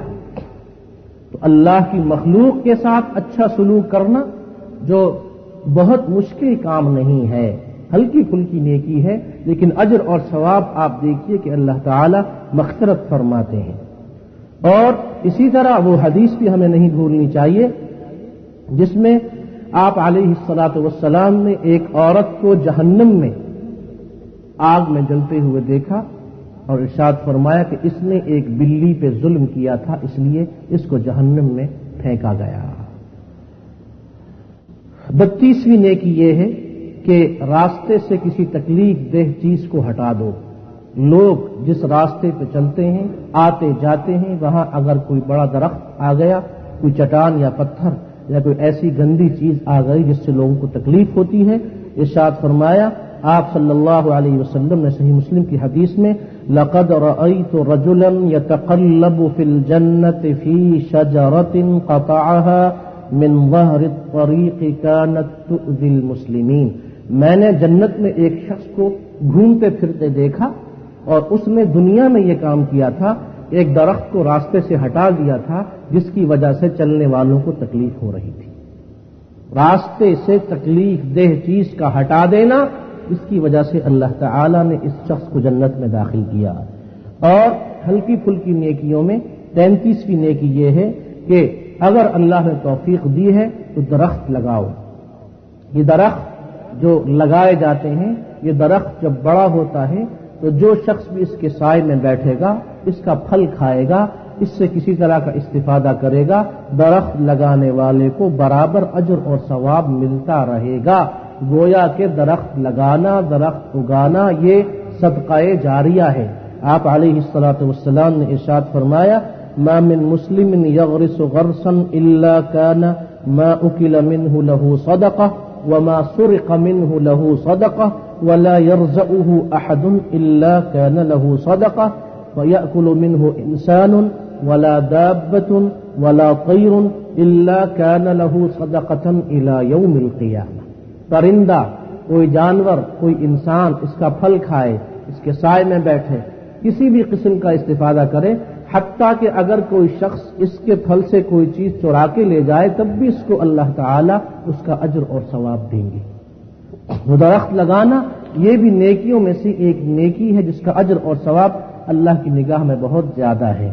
और एक और हदीस में जिसको इमाम अहमद बिन हम्बल ने नकल किया, इरशाद फरमाया कि आला कुल्ल नफ्सिन फ़ी कुल्ल यौमिन तलअत अलैहि शम्स सदका मिन अबवाब सदक़त अतकबीर व सुबहान अल्लाह वल्हम्दुलिल्लाह वला इलाहा इल्लल्लाह वस्तगफिरुल्लाह व यअमुरु बिल मारूफ व यनहा अनिल मुनकर रोज़ाना इंसान को ये अहम नेकियाँ करनी चाहिए जिनमें एक अहम नेकी ये है कि नेकियों का हुक्म करे और बुराइयों से रोके व याजिल शौका अन तरीक नाश वल अज़म वल हजर रास्ते में अगर कोई कांटे वाली चीज़ है, कांटेदार दरख्त या शाख है, या कोई हड्डी या पत्थर है, उसको रास्ते से हटा दे।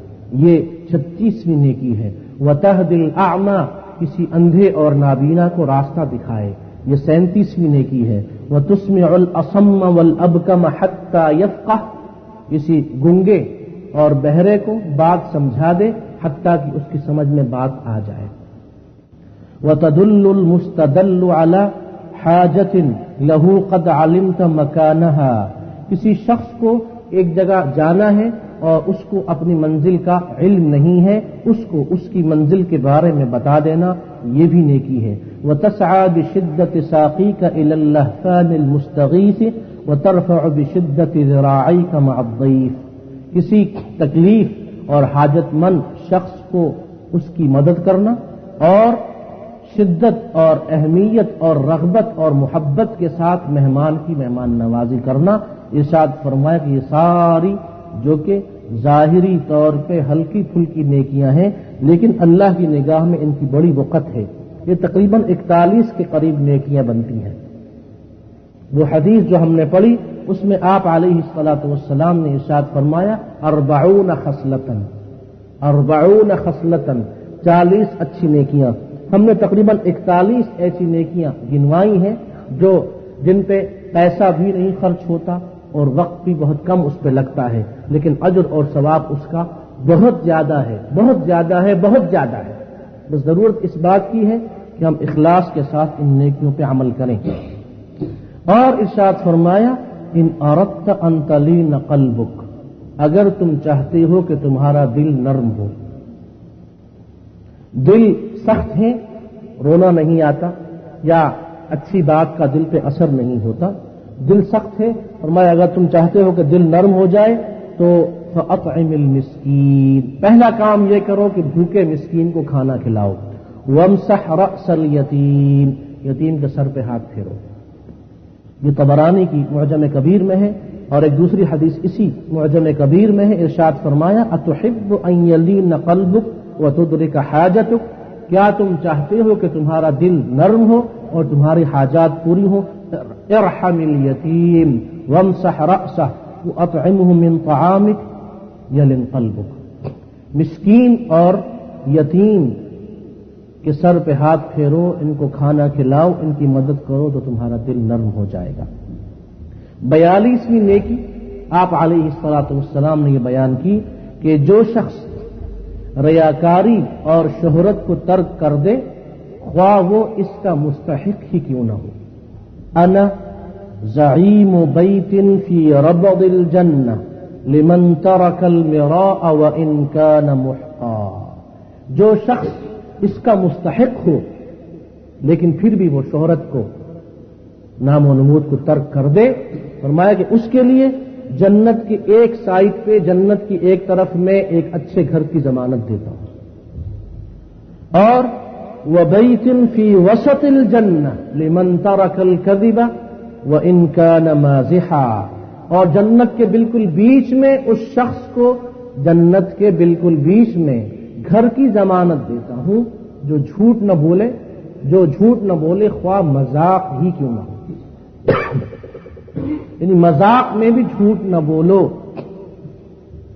मज़ाक में भी झूठ न बोलो। तो जो लोगों को हंसाने के लिए झूठ बोलते हैं ख्वाह वो मज़ाक ही क्यों ना करते हो? वो कबीरा गुनाह का इरतिकाब करते हैं।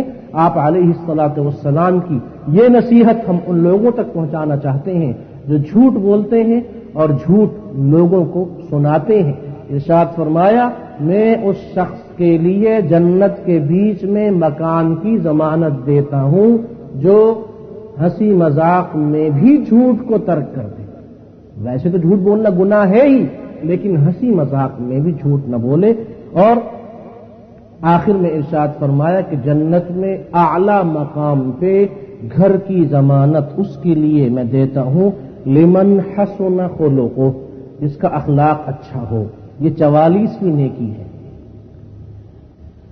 और इन्हीं अच्छी नेकियों में इरशाद फरमाया इन अबर्रल बिर्र यसिल रजुल अबी बाद अब।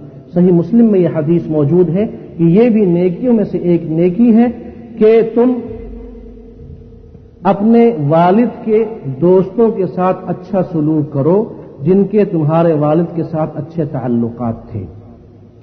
छियालीसवीं नेकी इरशाद फरमाया कि वो ये है कि अलमक्त फिल मसाजिद बादसलावात नमाज़ पढ़ने के बाद मस्जिद में बैठकर दूसरी नमाज़ का इंतज़ार किया जाए। और वलमशयु अलल अकदाम जमाआत। चलकर मस्जिदों की तरफ़ जाना ये भी नेकी है। वह इसबागुल वज़ू इफिल मकारी और मशक्क़त और तकलीफ़ के बावजूद वज़ू करना ये भी नेकियों में से एक नेकी है। और इन्हीं हल्की फुल्की नेकियों में आप वसलाम ने इर्शाद फरमाया कि ये भी नेकी है, जो हल्की फुल्की नेकी है, लेकिन उसकी कदर और उसका वज़न और उसका अजर और सवाब बहुत ज़्यादा है। इर्शाद फरमाया, और यह हदीस मुतफक आल हदीस है कि एक शख्स के बारे में आता है कि उसने ज़िंदगी भर कोई नेक काम नहीं किया था, लेकिन उसके कुछ मकानात थे, कुछ बिल्डिंगें और कुछ उनके मकानात थे, कुछ जमीनें थी जिनको वो किराए पे दिया करता था। और लोगों को वो कर्ज पैसे भी दिया करता था। और अपने मुंशी से और अपने मुलाजिमों से उसने कहा था कि जब तुम माहाना किराया या सालाना किराया या मेरा कर्ज वसूल करने जाओ और किसी को देखो कि उसके पास पैसे नहीं है तो उसको मुआफ कर दिया करो। इस उम्मीद पे कि अल्लाह ताला हमें मुआफ करेंगे। इरशाद फरमाया कि इस शख्स का मामला अल्लाह के सामने पेश हुआ, फरिश्तों ने देखा कि माँ अमिला खैरन कब, पूरी ज़िंदगी इसने नेकी का कोई और काम नहीं किया। सिवाय इसके कि लोगों से दरगुजर करता था, मुआफ करता था। अल्लाह ताला ने इशाद फरमाया, मेरे बंदों से दरगुजर से काम लेने वाले, मैं तुझसे दरगुजर से काम लेता हूँ। हल्की फुल्की नेकी है ये। लेकिन अल्लाह ताला के यहाँ इसका अज्र और सवाब बहुत ज़्यादा है। और इशाद फरमाया कि हल्की फुल्की नेकियों में एक नेकी ये है कि अपने जब किसी मुसलमान भाई से मिलते हो तो हशाश बशाश चेहरा लेकर मिलो। तबस्सुमों का फ़ी वजह अखी का लक सदका। तिरमिदी और इबन हब्बान में ये सही हदीस मौजूद है। और इर्शाद फरमाया कि जब अपने किसी भाई से मिलते हो तो उससे मुसाफा करो, उससे हाथ मिलाओ।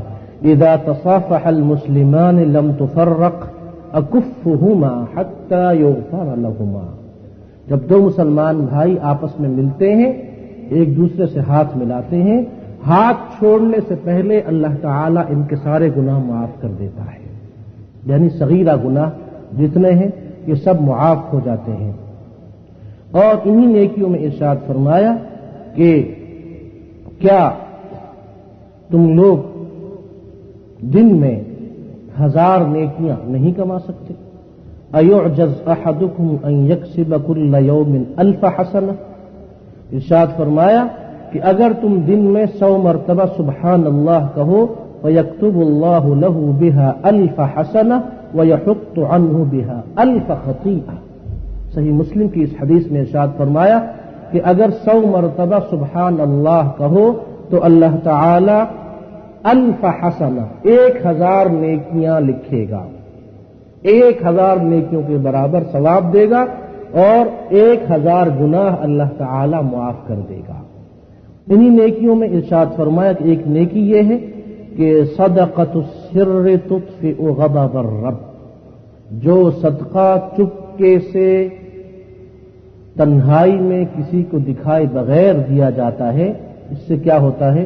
तुत्फि गबर रब, अल्लाह ताला का गुस्सा ठंडा हो जाता है। ये भी नेकी है। वसीलतुर्रह में तजीद फिल उमर। सिला रहमी से उम्र में ज़िंदगी में बरकत होती है। ये भी नेकी है। वह फ़िलमारूफ यकी मसार असू नेकियों से अल्लाह ताला बुराइयों और आफात से महफूज रखता है। और शाद फरमाया कि अगर मुल्कों की आबादी और जिंदगियों की बरकत चाहते हो सिलतुर्रहिम व हुस्नुल खुलुक़ी व हुस्नुल जवारी युअम्मिर न दियारा व यजिद न फिल आमार ये मुस्नद इमाम अहमद बिन हम्बल की हदीस है पड़ोसियों के साथ अच्छा सलूक करना अच्छा अखलाक रखना और सिला रहमी करना इससे इर्शाद फरमाया कि क्या होता है यू अमिर नदियार यू अमिर नदियार आबादी है ये मुल्कों की शहरों की आबादी है। और, यजिद नफिल आमार जिंदगियों में इजाफा होता है। और इन्हीं हल्की फुल्की नेकियों में इर्शाद फरमाया कि एक नेकी ये भी है इसका नंबर पचपन है हमारे आज के दर्श में कि अपने किसी मुसलमान बीमार भाई की अयादत करना। किसी मुसलमान बीमार भाई की अयादत करना, इर्शाद फरमाया कि जो शख्स अपने किसी मुसलमान बीमार भाई की अयादत के लिए जाता है तो सबून अल्फ़ा मलक, सत्तर हज़ार फरिश्ते इसके लिए दुआ करते हैं। अगर ये शाम को जाए तो सुबह तक सत्तर हज़ार फरिश्ते दुआ करते हैं। और अगर ये सुबह जाए तो शाम तक सत्तर हज़ार फरिश्ते इसके लिए दुआ करते हैं। ये इमाम अतबरानी ने अपनी मुजम में इस हदीस को नकल किया और इर्शाद फरमाया कि सत्तर हज़ार फरिश्ते सुबह से शाम तक मशगूल रहते हैं। इसके लिए दुआ में। और सत्तर हज़ार फरिश्ते, अगर ये शाम को गया है तो शाम से सुबह होने तक इसके लिए दुआ में मशगूल रहते हैं।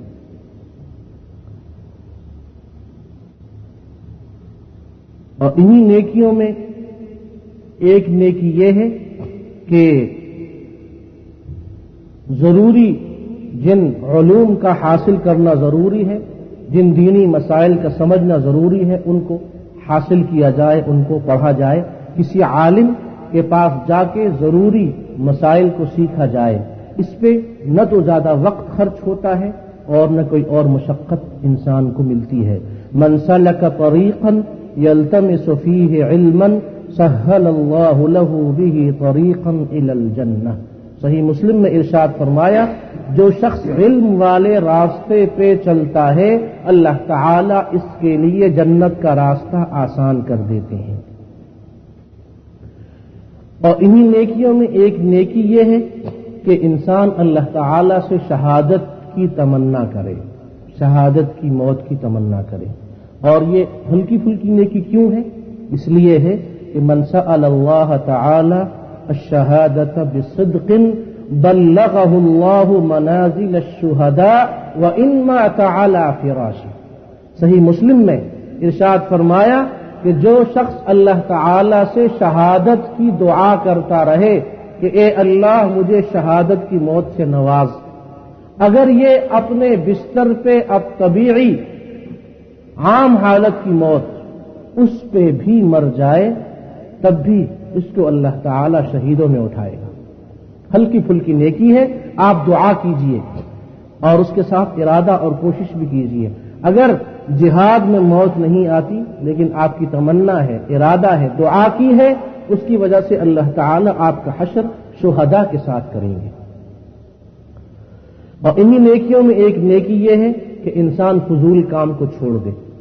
अब ये फजूल काम जो भी हो फजूल काम पे वक्त भी सर्फ होता है, पैसा भी खर्च होता है।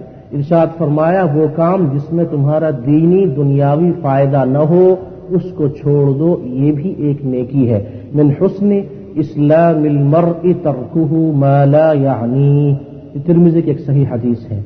और इन्हीं नेकियों में एक नेकी ये है कि इंसान अपने घर से निकलते हुए कहे, बिस्मिल्लाह तवक्कल तो अल्लाह ला हौला वला कुव्वत इल्ला बिल्लाह हल्की नेकी। ज़ुबान पे भी हल्की। वक्त भी नहीं खर्च होता। बिस्मिल्लाह तवक्कल तो अल्लाह, ला हौला वला कुव्वत इल्ला बिल्लाह। मन मिन बैतिही, युकाल लहू हुदीता व कुफीता व वकीता व तनहा अनहु शैतान।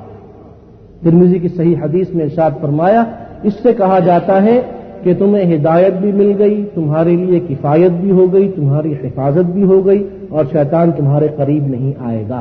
हल्की फुल्की नेकी, बिस्मिल्लाह तवक्कल तो अल्लाह वला इल्ला बिल्लाह।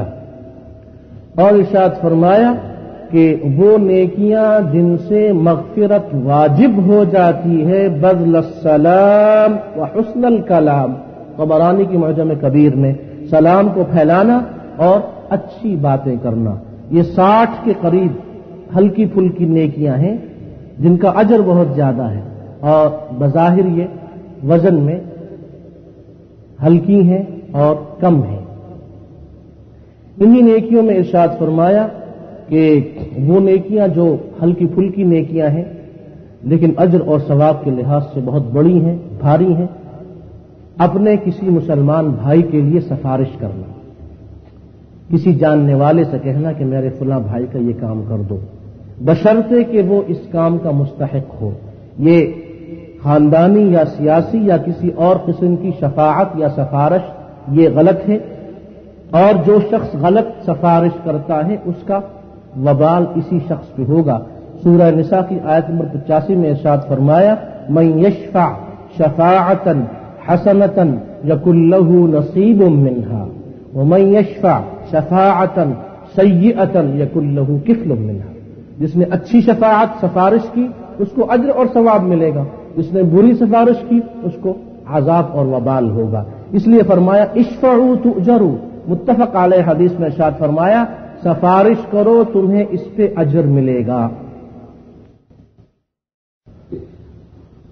और इर्शाद फरमाया कि वो नेकियाँ जो तुम्हारे फ़ायदे के लिए अल्लाह के हबीब सलाम ने बयान की हैं, उनमें ये भी है कि हक़ुल मुस्लिम अलल मुस्लिम सित्तुन, मुसलमान की मुसलमान पे छह हक हैं। इज़ा लकीतहू फसलम अलई जब उससे मुलाकात हो तो सलाम करो। व इज़ा दआ का हो और अगर वो तुम्हें दावत दे तो उसकी दावत को कबूल करो।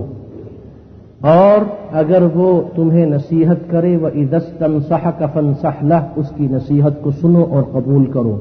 व इदा अकसफ हमिद अल्लाह फशमित हो अगर उसको छींक आए और वो अल्हम्दुलिल्लाह कहे तो तुम कहो, यरहमकल्लाह। व इदा मर व इदा मरिदा फउदहु बीमार हो तो आयादत करो व इदा मात फत्तबिअहु और अगर मर जाए तो उसके जनाजे में शिरकत करो छियासठ के करीब ये नेकियाँ हो गई और इसी तरीके पे हल्की फुल्की नेकियाँ जाहिरी शक्ल के लिहाज से और बहुत भारी नेकियाँ अजर और सवाब के लिहाज से तादिल बैनल इसनईन सदका दो नाराज़ मुसलमान भाइयों को राज़ी करना ये भी सदका और नेकी है। तो ईन रजुल फ़ी दाबती फतहमिलहु अलैहा, किसी शख्स को सवारी पे बिठाना ये भी नेकी है। औ तरफ़लहू अलैहा मता सदका, किसी शख्स का सामान उठाकर सवारी पर रख देना ये भी सदका है। मुतफ़ आल हदीस में आप सलाम ने इर्शाद फरमाया। तो इसी तरह हल्की फुल्की नेकियों में इर्शाद फरमाया कि तुम पैसे खर्च करते हो दीनार अनफक्तहू फ़ी सबीलिल्लाह, व दीनार अनफक्तहू फ़ी रकब, व दीनार तसद्दकत बिही आला मिस्कीन। कुछ पैसे ऐसे हैं जो तुम मिस्कीनों पे खर्च करते हो। कुछ ऐसे हैं जो किसी को आज़ाद करने में खर्च करते हो। और कुछ ऐसे हैं जो अल्लाह के रास्ते में तुम खर्च करते हो, और कुछ ऐसे हैं जो तुम अपने घर वालों पे खर्च करते हो। दीनारुन अनफक्तहू अला अहलिका अवमुहा अजरन अल्लवी अनफक्तहू अला अहलिक। सबसे ज़्यादा सवाब उस इन्फाक का है, उस खर्चे का है, उन पैसों का है जो तुम अपने घर वालों पे खर्च करते हो। तो घर वालों पे पैसे खर्च करना, इसको मामूली चीज़ लोग समझते हैं और ये ज़रूरी होता है। लेकिन नीयत नेकी की नहीं होती, पैसे खर्च होते रहते हैं और सवाब नहीं मिलता। लेकिन अगर नीयत नेकी की हो, कि सिला रहमी का मामला है, अल्लाह के रसूल आलतम का हुक्म है तो फिर ये नेकी बन गई। हल्की फुल्की नेकी है, इसलिए हल्की फुल्की है कि हर हाल में ये बहरहाल खर्चा होना है। इन पैसों को और इस खर्च को जो घर वालों पे होता है, इरशाद फरमाया कि सबसे ज़्यादा अजर और सवाब अता किया जाता है। ये वो हल्की फुल्की नेकियाँ हैं। इरशाद फरमाया, इन्हीं नेकियों में एक नेकी ये है कि जब अपने मुसलमान भाई से ताल्लुक रखो तो अल्लाह के लिए ताल्लुक रखो। ये तो हम सब जानते हैं कि दुनिया में कोई शख्स भी तन्हा अलग खलग लोगों से, मुआशरे से कट के ज़िंदा नहीं रह सकता। किसी ना किसी से आपको दोस्ती बहरहाल करनी पड़ेगी। तो क्यों ना उन लोगों से दोस्ती करो जो नेक हो, नेकियों को पसंद करने वाले हों, सालेह और मुत्तकी हों। और ये दोस्ती सिर्फ़ अल्लाह के लिए करो, किसी और गर्ज और दुनियावी लालच या किसी और नीयत के तहत न हो। इरशाद फरमाया कि सात किस्म के आदमियों को अल्लाह ताला अपने अर्श के साय के नीचे जगह देगा। जिस दिन अल्लाह के अर्श के साय के अलावा और कोई साया नहीं होगा। मुतफक आल हदीस में इर्शाद फरमाया, दो आदमी वो होंगे, रजोलान तहाबा दो किस्म के वो आदमी जो सिर्फ़ अल्लाह ही के लिए एक दूसरे के साथ दोस्ती और ताल्लुक रखते थे। सही मुस्लिम की एक हदीस में आता है कि इन रजुलन जार अखन लहू फ़ी करियतिन उखरा। एक आदमी एक बस्ती में अपने भाई से मिलने के लिए जा रहा था। फरसद अल्लाह तला मदरजती ही मलका। अल्लाह ने उसके रास्ते पे एक फरिश्ते को भेजा। जब ये रास्ते पे पहुँचा तो फरिश्ता जो इंसानी शक्ल में आया था, इससे पूछा आई न तुरीद? कहाँ जाना चाहते हो? कौला, उरीद अखन ली फ़ी करिया। मैं फुला बस्ती और गाँव जाना चाहता हूँ, वहाँ मेरा एक भाई रहता है। कौला अल्लाह नअमतिन तरब्बुहा अलई पूछा फरिश्ते ने कि क्या किसी दुनियावी ताल्लुक की वजह से या किसी एहसान या नेकी की वजह से तुम उससे मिलने जा रहे हो? कालला गैर अन्नी उहिब्बुहु फिल्लाह। इसने बताया कि नहीं, मेरा उससे और कोई रिश्ता नहीं है। मैं सिर्फ़ अल्लाह के लिए उससे मोहब्बत करता हूँ और हमारी दोस्ती सिर्फ़ अल्लाह के लिए है। कौला तो इन्नी रसूलुल्लाह इलैक। तो मैं तुम्हें बताना चाहता हूँ कि मैं अल्लाह का भेजा हुआ फरिश्ता हूँ। मुझे अल्लाह ने तुम्हारी तरफ़ भेजा है। ये कहने के लिए कि भी अल्लाह अहब का कमा अहबतहू फ़ी। अल्लाह ताला तुमसे उसी तरह मोहब्बत करता है जैसे तुमने अपने इस भाई से मोहब्बत की। तो ये उस शख्स के लिए है जो अपने किसी मुसलमान भाई से सिर्फ़ अल्लाह की रजा के लिए मिलता है और इसका ताल्लुक उसके साथ सिर्फ़ अल्लाह की रजा के लिए होता है। इन्हीं हल्की फुल्की नेकियों में जो जाहिरी तौर पे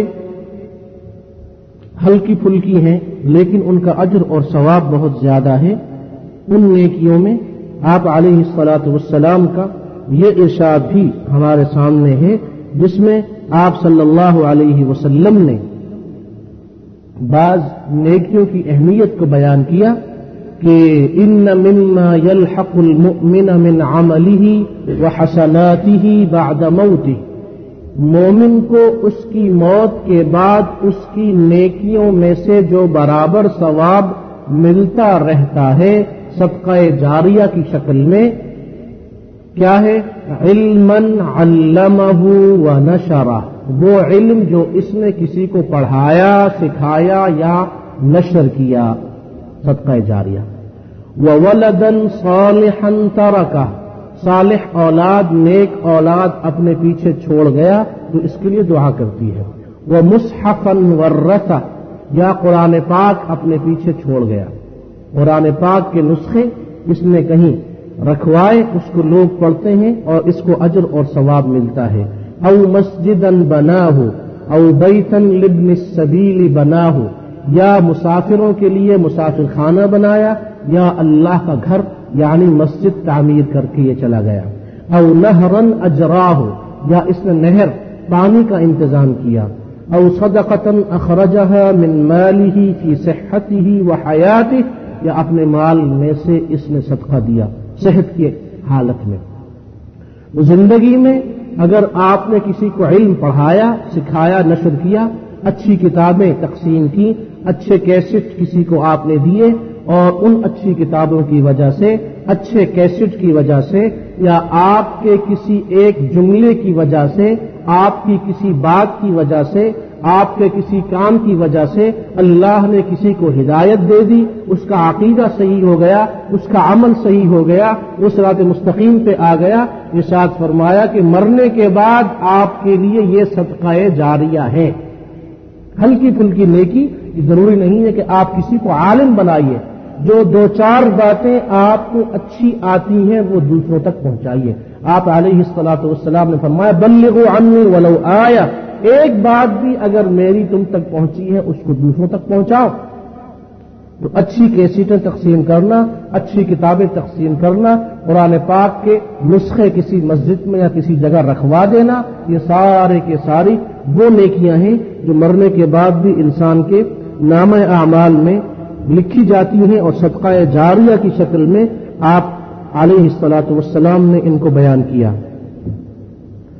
इसी तरह वो लोग जो खरीदो फरोख्त करते हैं, चूँकि उनका काम है खरीदना और बेचना, वो लोग जो दुकानदार हैं, ताजिर हैं, और वो जो दुकानों पे या ताजिरों के पास जाके सौदा वगैरह खरीदते हैं, ज़ाहिर है, एक शख्स ज़रूर ऐसा होना चाहिए, कुछ लोग ज़रूर ऐसे होने चाहिए जो ये काम करें कि वो सौदा बेचें। और लोग जरूरतमंद जाकर उनसे अपनी अपनी ज़रूरत की चीज़ें खरीदते हैं। इर्शाद फरमाया कि या तुम बेचने वाले बनोगे और या खरीदने वाले। तो इर्शाद फरमाया, दोनों सूरतों में तुम्हें हम तरीका बताते हैं। उस तरीके पर अगर अमल करो तो अल्लाह ताला तुमको जन्नत में दाखिल करेंगे। हल्की फुल्की नेकी, इर्शाद फरमाया कि अदखल अल्लाह रजुलन अलजन्नत कान सहलन। व मुश्तरिया। नसाई और इब्न माजा में अल्लाह ताला ने उस आदमी को जन्नत में दाखिल किया, जो कोई चीज़ फरोख्त करता था तो मुनासिब दामों पे फरोख्त करता था और खरीदता था, तब भी मुनासिब दामों पे खरीदता था। न अपने ऊपर जुल्म करता था, न किसी और पे जुल्म करता था। अब ये हल्की फुल्की नेकी है, लेकिन अल्लाह ने इस नेकी की वजह से इसको जन्नत में दाखिल किया।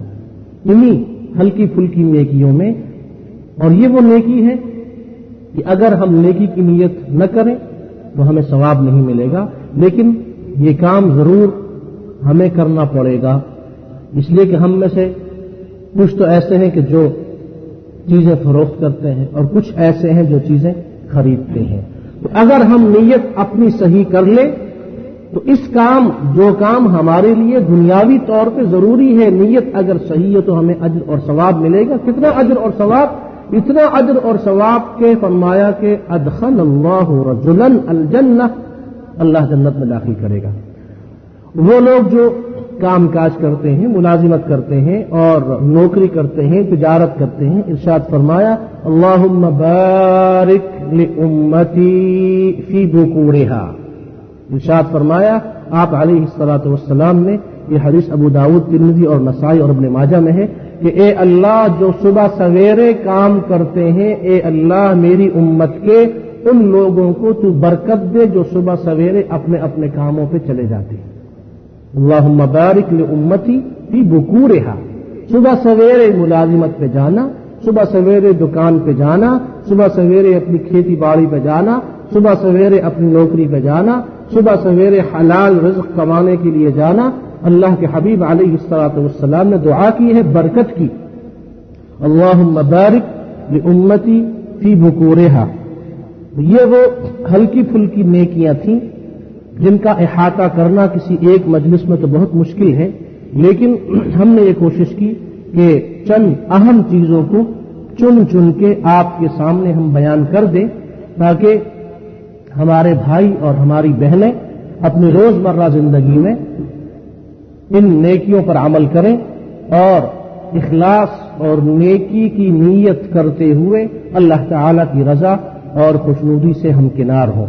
इन्हीं नेकियों में जो एक और अहम नेकी है, इरशाद फरमाया, वो ये है कि अस्वाक मुतहरतुन लिलफम, मर्दातुन लिरब नसाई की सही हदीस है। मिसवाक एक रियाल का मिसवाक मिलता है।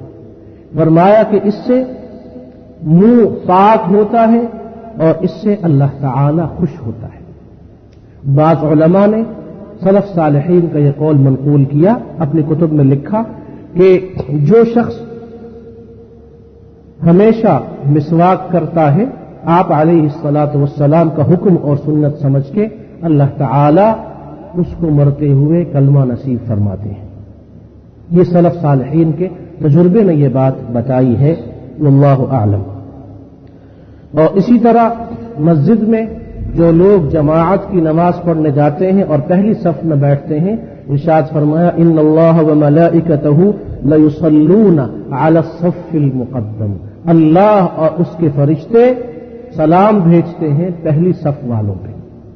अब नमाज़ पढ़ने आपने जाना है, कोशिश कीजिए कि जल्दी जाएँ। पहली सफ में बैठे, ताकि अल्लाह और उसके उसके फरिश्तों की दुआ और सलाम उसके आप मुस्तक बने। और इसी तरह इर्शाद फरमाया कि जो लोग कहीं मिल बैठते हैं, अल्लाह की किताब की तिलावत करते हैं, उसको समझ के पढ़ते और पढ़ाते हैं। मजतमा कौमन फ़ी बैत मिन बुयूतिल्लाह यतलून किताब अल्लाह व यतदारसूनहु फीमा बैनहुम। पढ़ते भी हैं और एक दूसरे को पढ़ाते, सिखाते भी हैं। इरशाद फरमाया कि ये बैठना और कुछ देर का बैठना, कुछ देर का पढ़ना, पढ़ाना इतना कीमती है। हफ़तहुमुल मलाइका, फरिश्ते इनको ढांप लेते हैं। वह नजलत अलही मुस्कीन सुकून कल्ब, इतमीनान कल्ब अल्लाह की तरफ़ से नाजिल होता है। वह गशियत रहमा, रहमत इनको घेरे में ले लेती है, इनको छुपा लेती है। वज़करहुमुल्लाहु मन इंदा, अल्लाह के यहाँ इनका ज़िक्र होता है। उनका, जो अल्लाह की इस किताब को समझ के पढ़ते हैं और अल्लाह की इस किताब के लिए आपस में मिल बैठते हैं। तो ये हल्की फुल्की नेकियाँ हैं। इन्हीं नेकियों में एक नेकी ये है कि हम जब अपने किसी दोस्त से मिलते हैं, किसी दुकान पे कोई चीज़ खरीदने जाते हैं, किसी से गुफ्तगु होती है, या खातन आपस में किसी और खातून से मिलती हैं, गुफ्तगु होती है तो बातचीत करते हुए हम पे वाजिब है कि हम किसी न किसी नेकी की बात उस तक पहुँचा दें। अगर आपके कहने के बाद वो किसी एक अच्छी बात को ले ले, उस पर अमल करना शुरू कर दे तो आपके लिए हमेशा सदका जारिया बन जाए। और अगर किसी का अकीदा सही हो जाए, शिरक और बिदत को वो छोड़ दे, आमाल में कमज़ोरी रहती है, लेकिन अहम चीज़ तो अकीदे का बिगाड़ है, जिसकी वजह से सारी नेकियाँ जाया हो जाती हैं।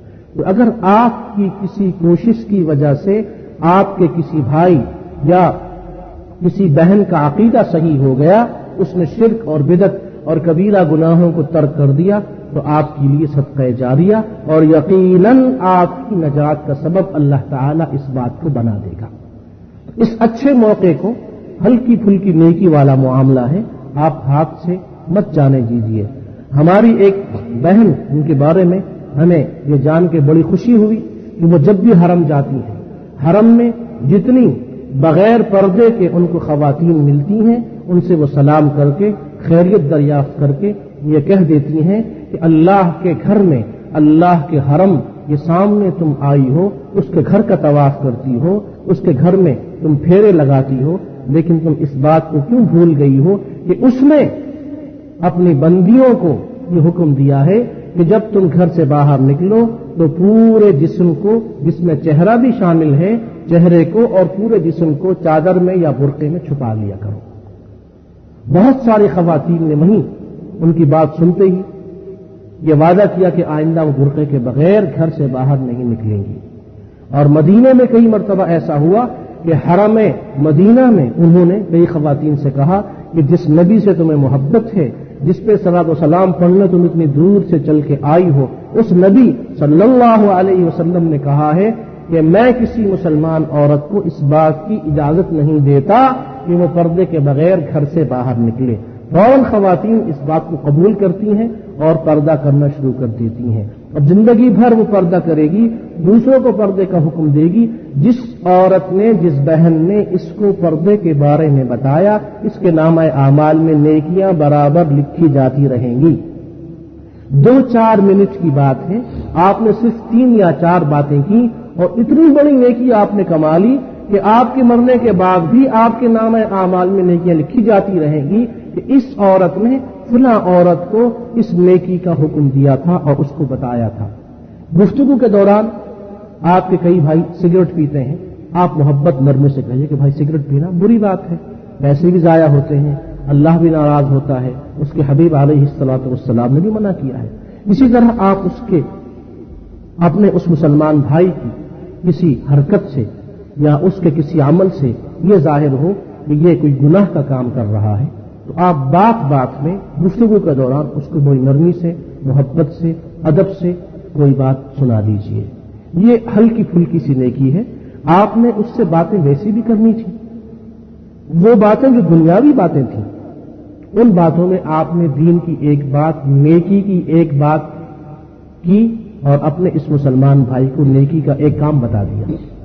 अगर दिन में आप दस आदमियों से मिलें और दस नेकियों के बारे में बताएँ और अगर वो दस नेकियों पर अमल करना शुरू कर दें तो आपके लिए रफ़ दराजात की बुलंदी का आलम क्या होगा? ये सिर्फ़ अल्लाह जानता है और आपको उस वक्त इल्म होगा जिस वक्त आप नेकी कर नहीं सकेंगे, बल्कि आपको नेकियों के बारे में बताया जाएगा कि तुम्हारी फुला नेकी, ये तुम्हारी फुला नेकी, ये तुम्हारी फुला नेकी। फिर तुम कहोगे कि काश मैंने सारी ज़िंदगी यही नेकियाँ की होती। सबसे आखिर में, ये एक और मामूली नेकी आपके सामने मैं पेश करना चाहता हूँ, और ये भी ऐसी नेकी है कि इस नेकी को हमने बहरहाल दिन में दो तीन मरतबा अंजाम देना है, और हमें अंजाम देना चाहिए। इरशाद फरमाया, आप सल्लल्लाहु अलैहि वसल्लम ने सही मुस्लिम की हदीस में इन अल्लाह इन अल्लाह अब्द अल्लाह ताला अपने बंदे से राज़ी हो जाता है। अल्लाह राज़ी हुआ मतलब क्या है? कि अल्लाह राज़ी हुआ, गुनाह सारे मुआफ हो गए। अल्लाह राज़ी हुआ और जन्नत में दाखिले का फैसला हो गया। अल्लाह राज़ी हुआ मतलब यह कि आप खुशबख्तों और नेक बख्तों और अच्छे लोगों में से हो गए। किन से राज़ी होता है? कुल अकलत फयहमदुहु अलैहा। औ यशरब शरबत फयहमदुहु अलैहा। उस बंदे से अल्लाह राज़ी हो जाता है, जो कुछ भी खाए, खाने के बाद कहे, अल्हम्दुलिल्लाह। चाय या पानी, ठंडा शरबत वगैरह पिए तो कहे, अल्हम्दुलिल्लाह। खाना भी हमने खाना होता है, पानी भी हमने पीना होता है। अगर हम खाने के बाद, और पीने के बाद ये कहें, अल्हम्दुलिल्लाह। इस नीयत से कहें कि ये नेमत हमें देने वाला, हमारा रब हमसे राज़ी हो जाए। अल्लाह अपने ऐसे बंदे से राज़ी हो जाता है जो खाने और पीने के बाद अल्हम्दुलिल्लाह कहता है। अब ज़ुबान से अल्हम्दुलिल्लाह कहना, उसमें कितनी ताकत खर्च होती है? कितनी मशक्कत का काम है? कितने पैसे खर्च होते हैं? ये बिल्कुल हल्का फुल्का मामूली सा काम है। अल्हम्दुलिल्लाह। सेकंड इस पर लगते हैं, मिनट भी नहीं लगते। पैसे भी नहीं खर्च होते, तकलीफ़ भी नहीं होती। लेकिन इसका अजर और सवाब आप देखिए ये हल्की फुल्की नेकी, लेकिन अजर और सवाब इतना भारी और इतना ज़्यादा कि अल्लाह ताला इस बंदे से राज़ी हो जाता है। तो ये चंद हल्की फुल्की नेकियाँ थी जो आपके सामने बयान की गई।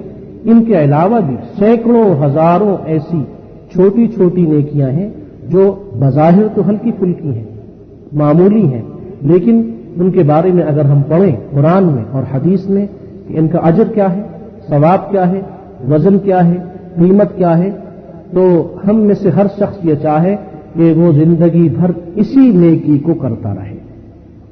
इसलिए किसी भी नेकी को मामूली न समझो, किसी भी नेकी को मामूली न समझो, हो सकता है कि इस छोटी सी नेकी की वजह से अल्लाह ताला तुम्हारी हमारी मफरत फरमा दे अल्लाह वसलम वबारक अला सईदना व हबीबना मोहम्मद वाला आलिहि वसहाबिहि अजमाइन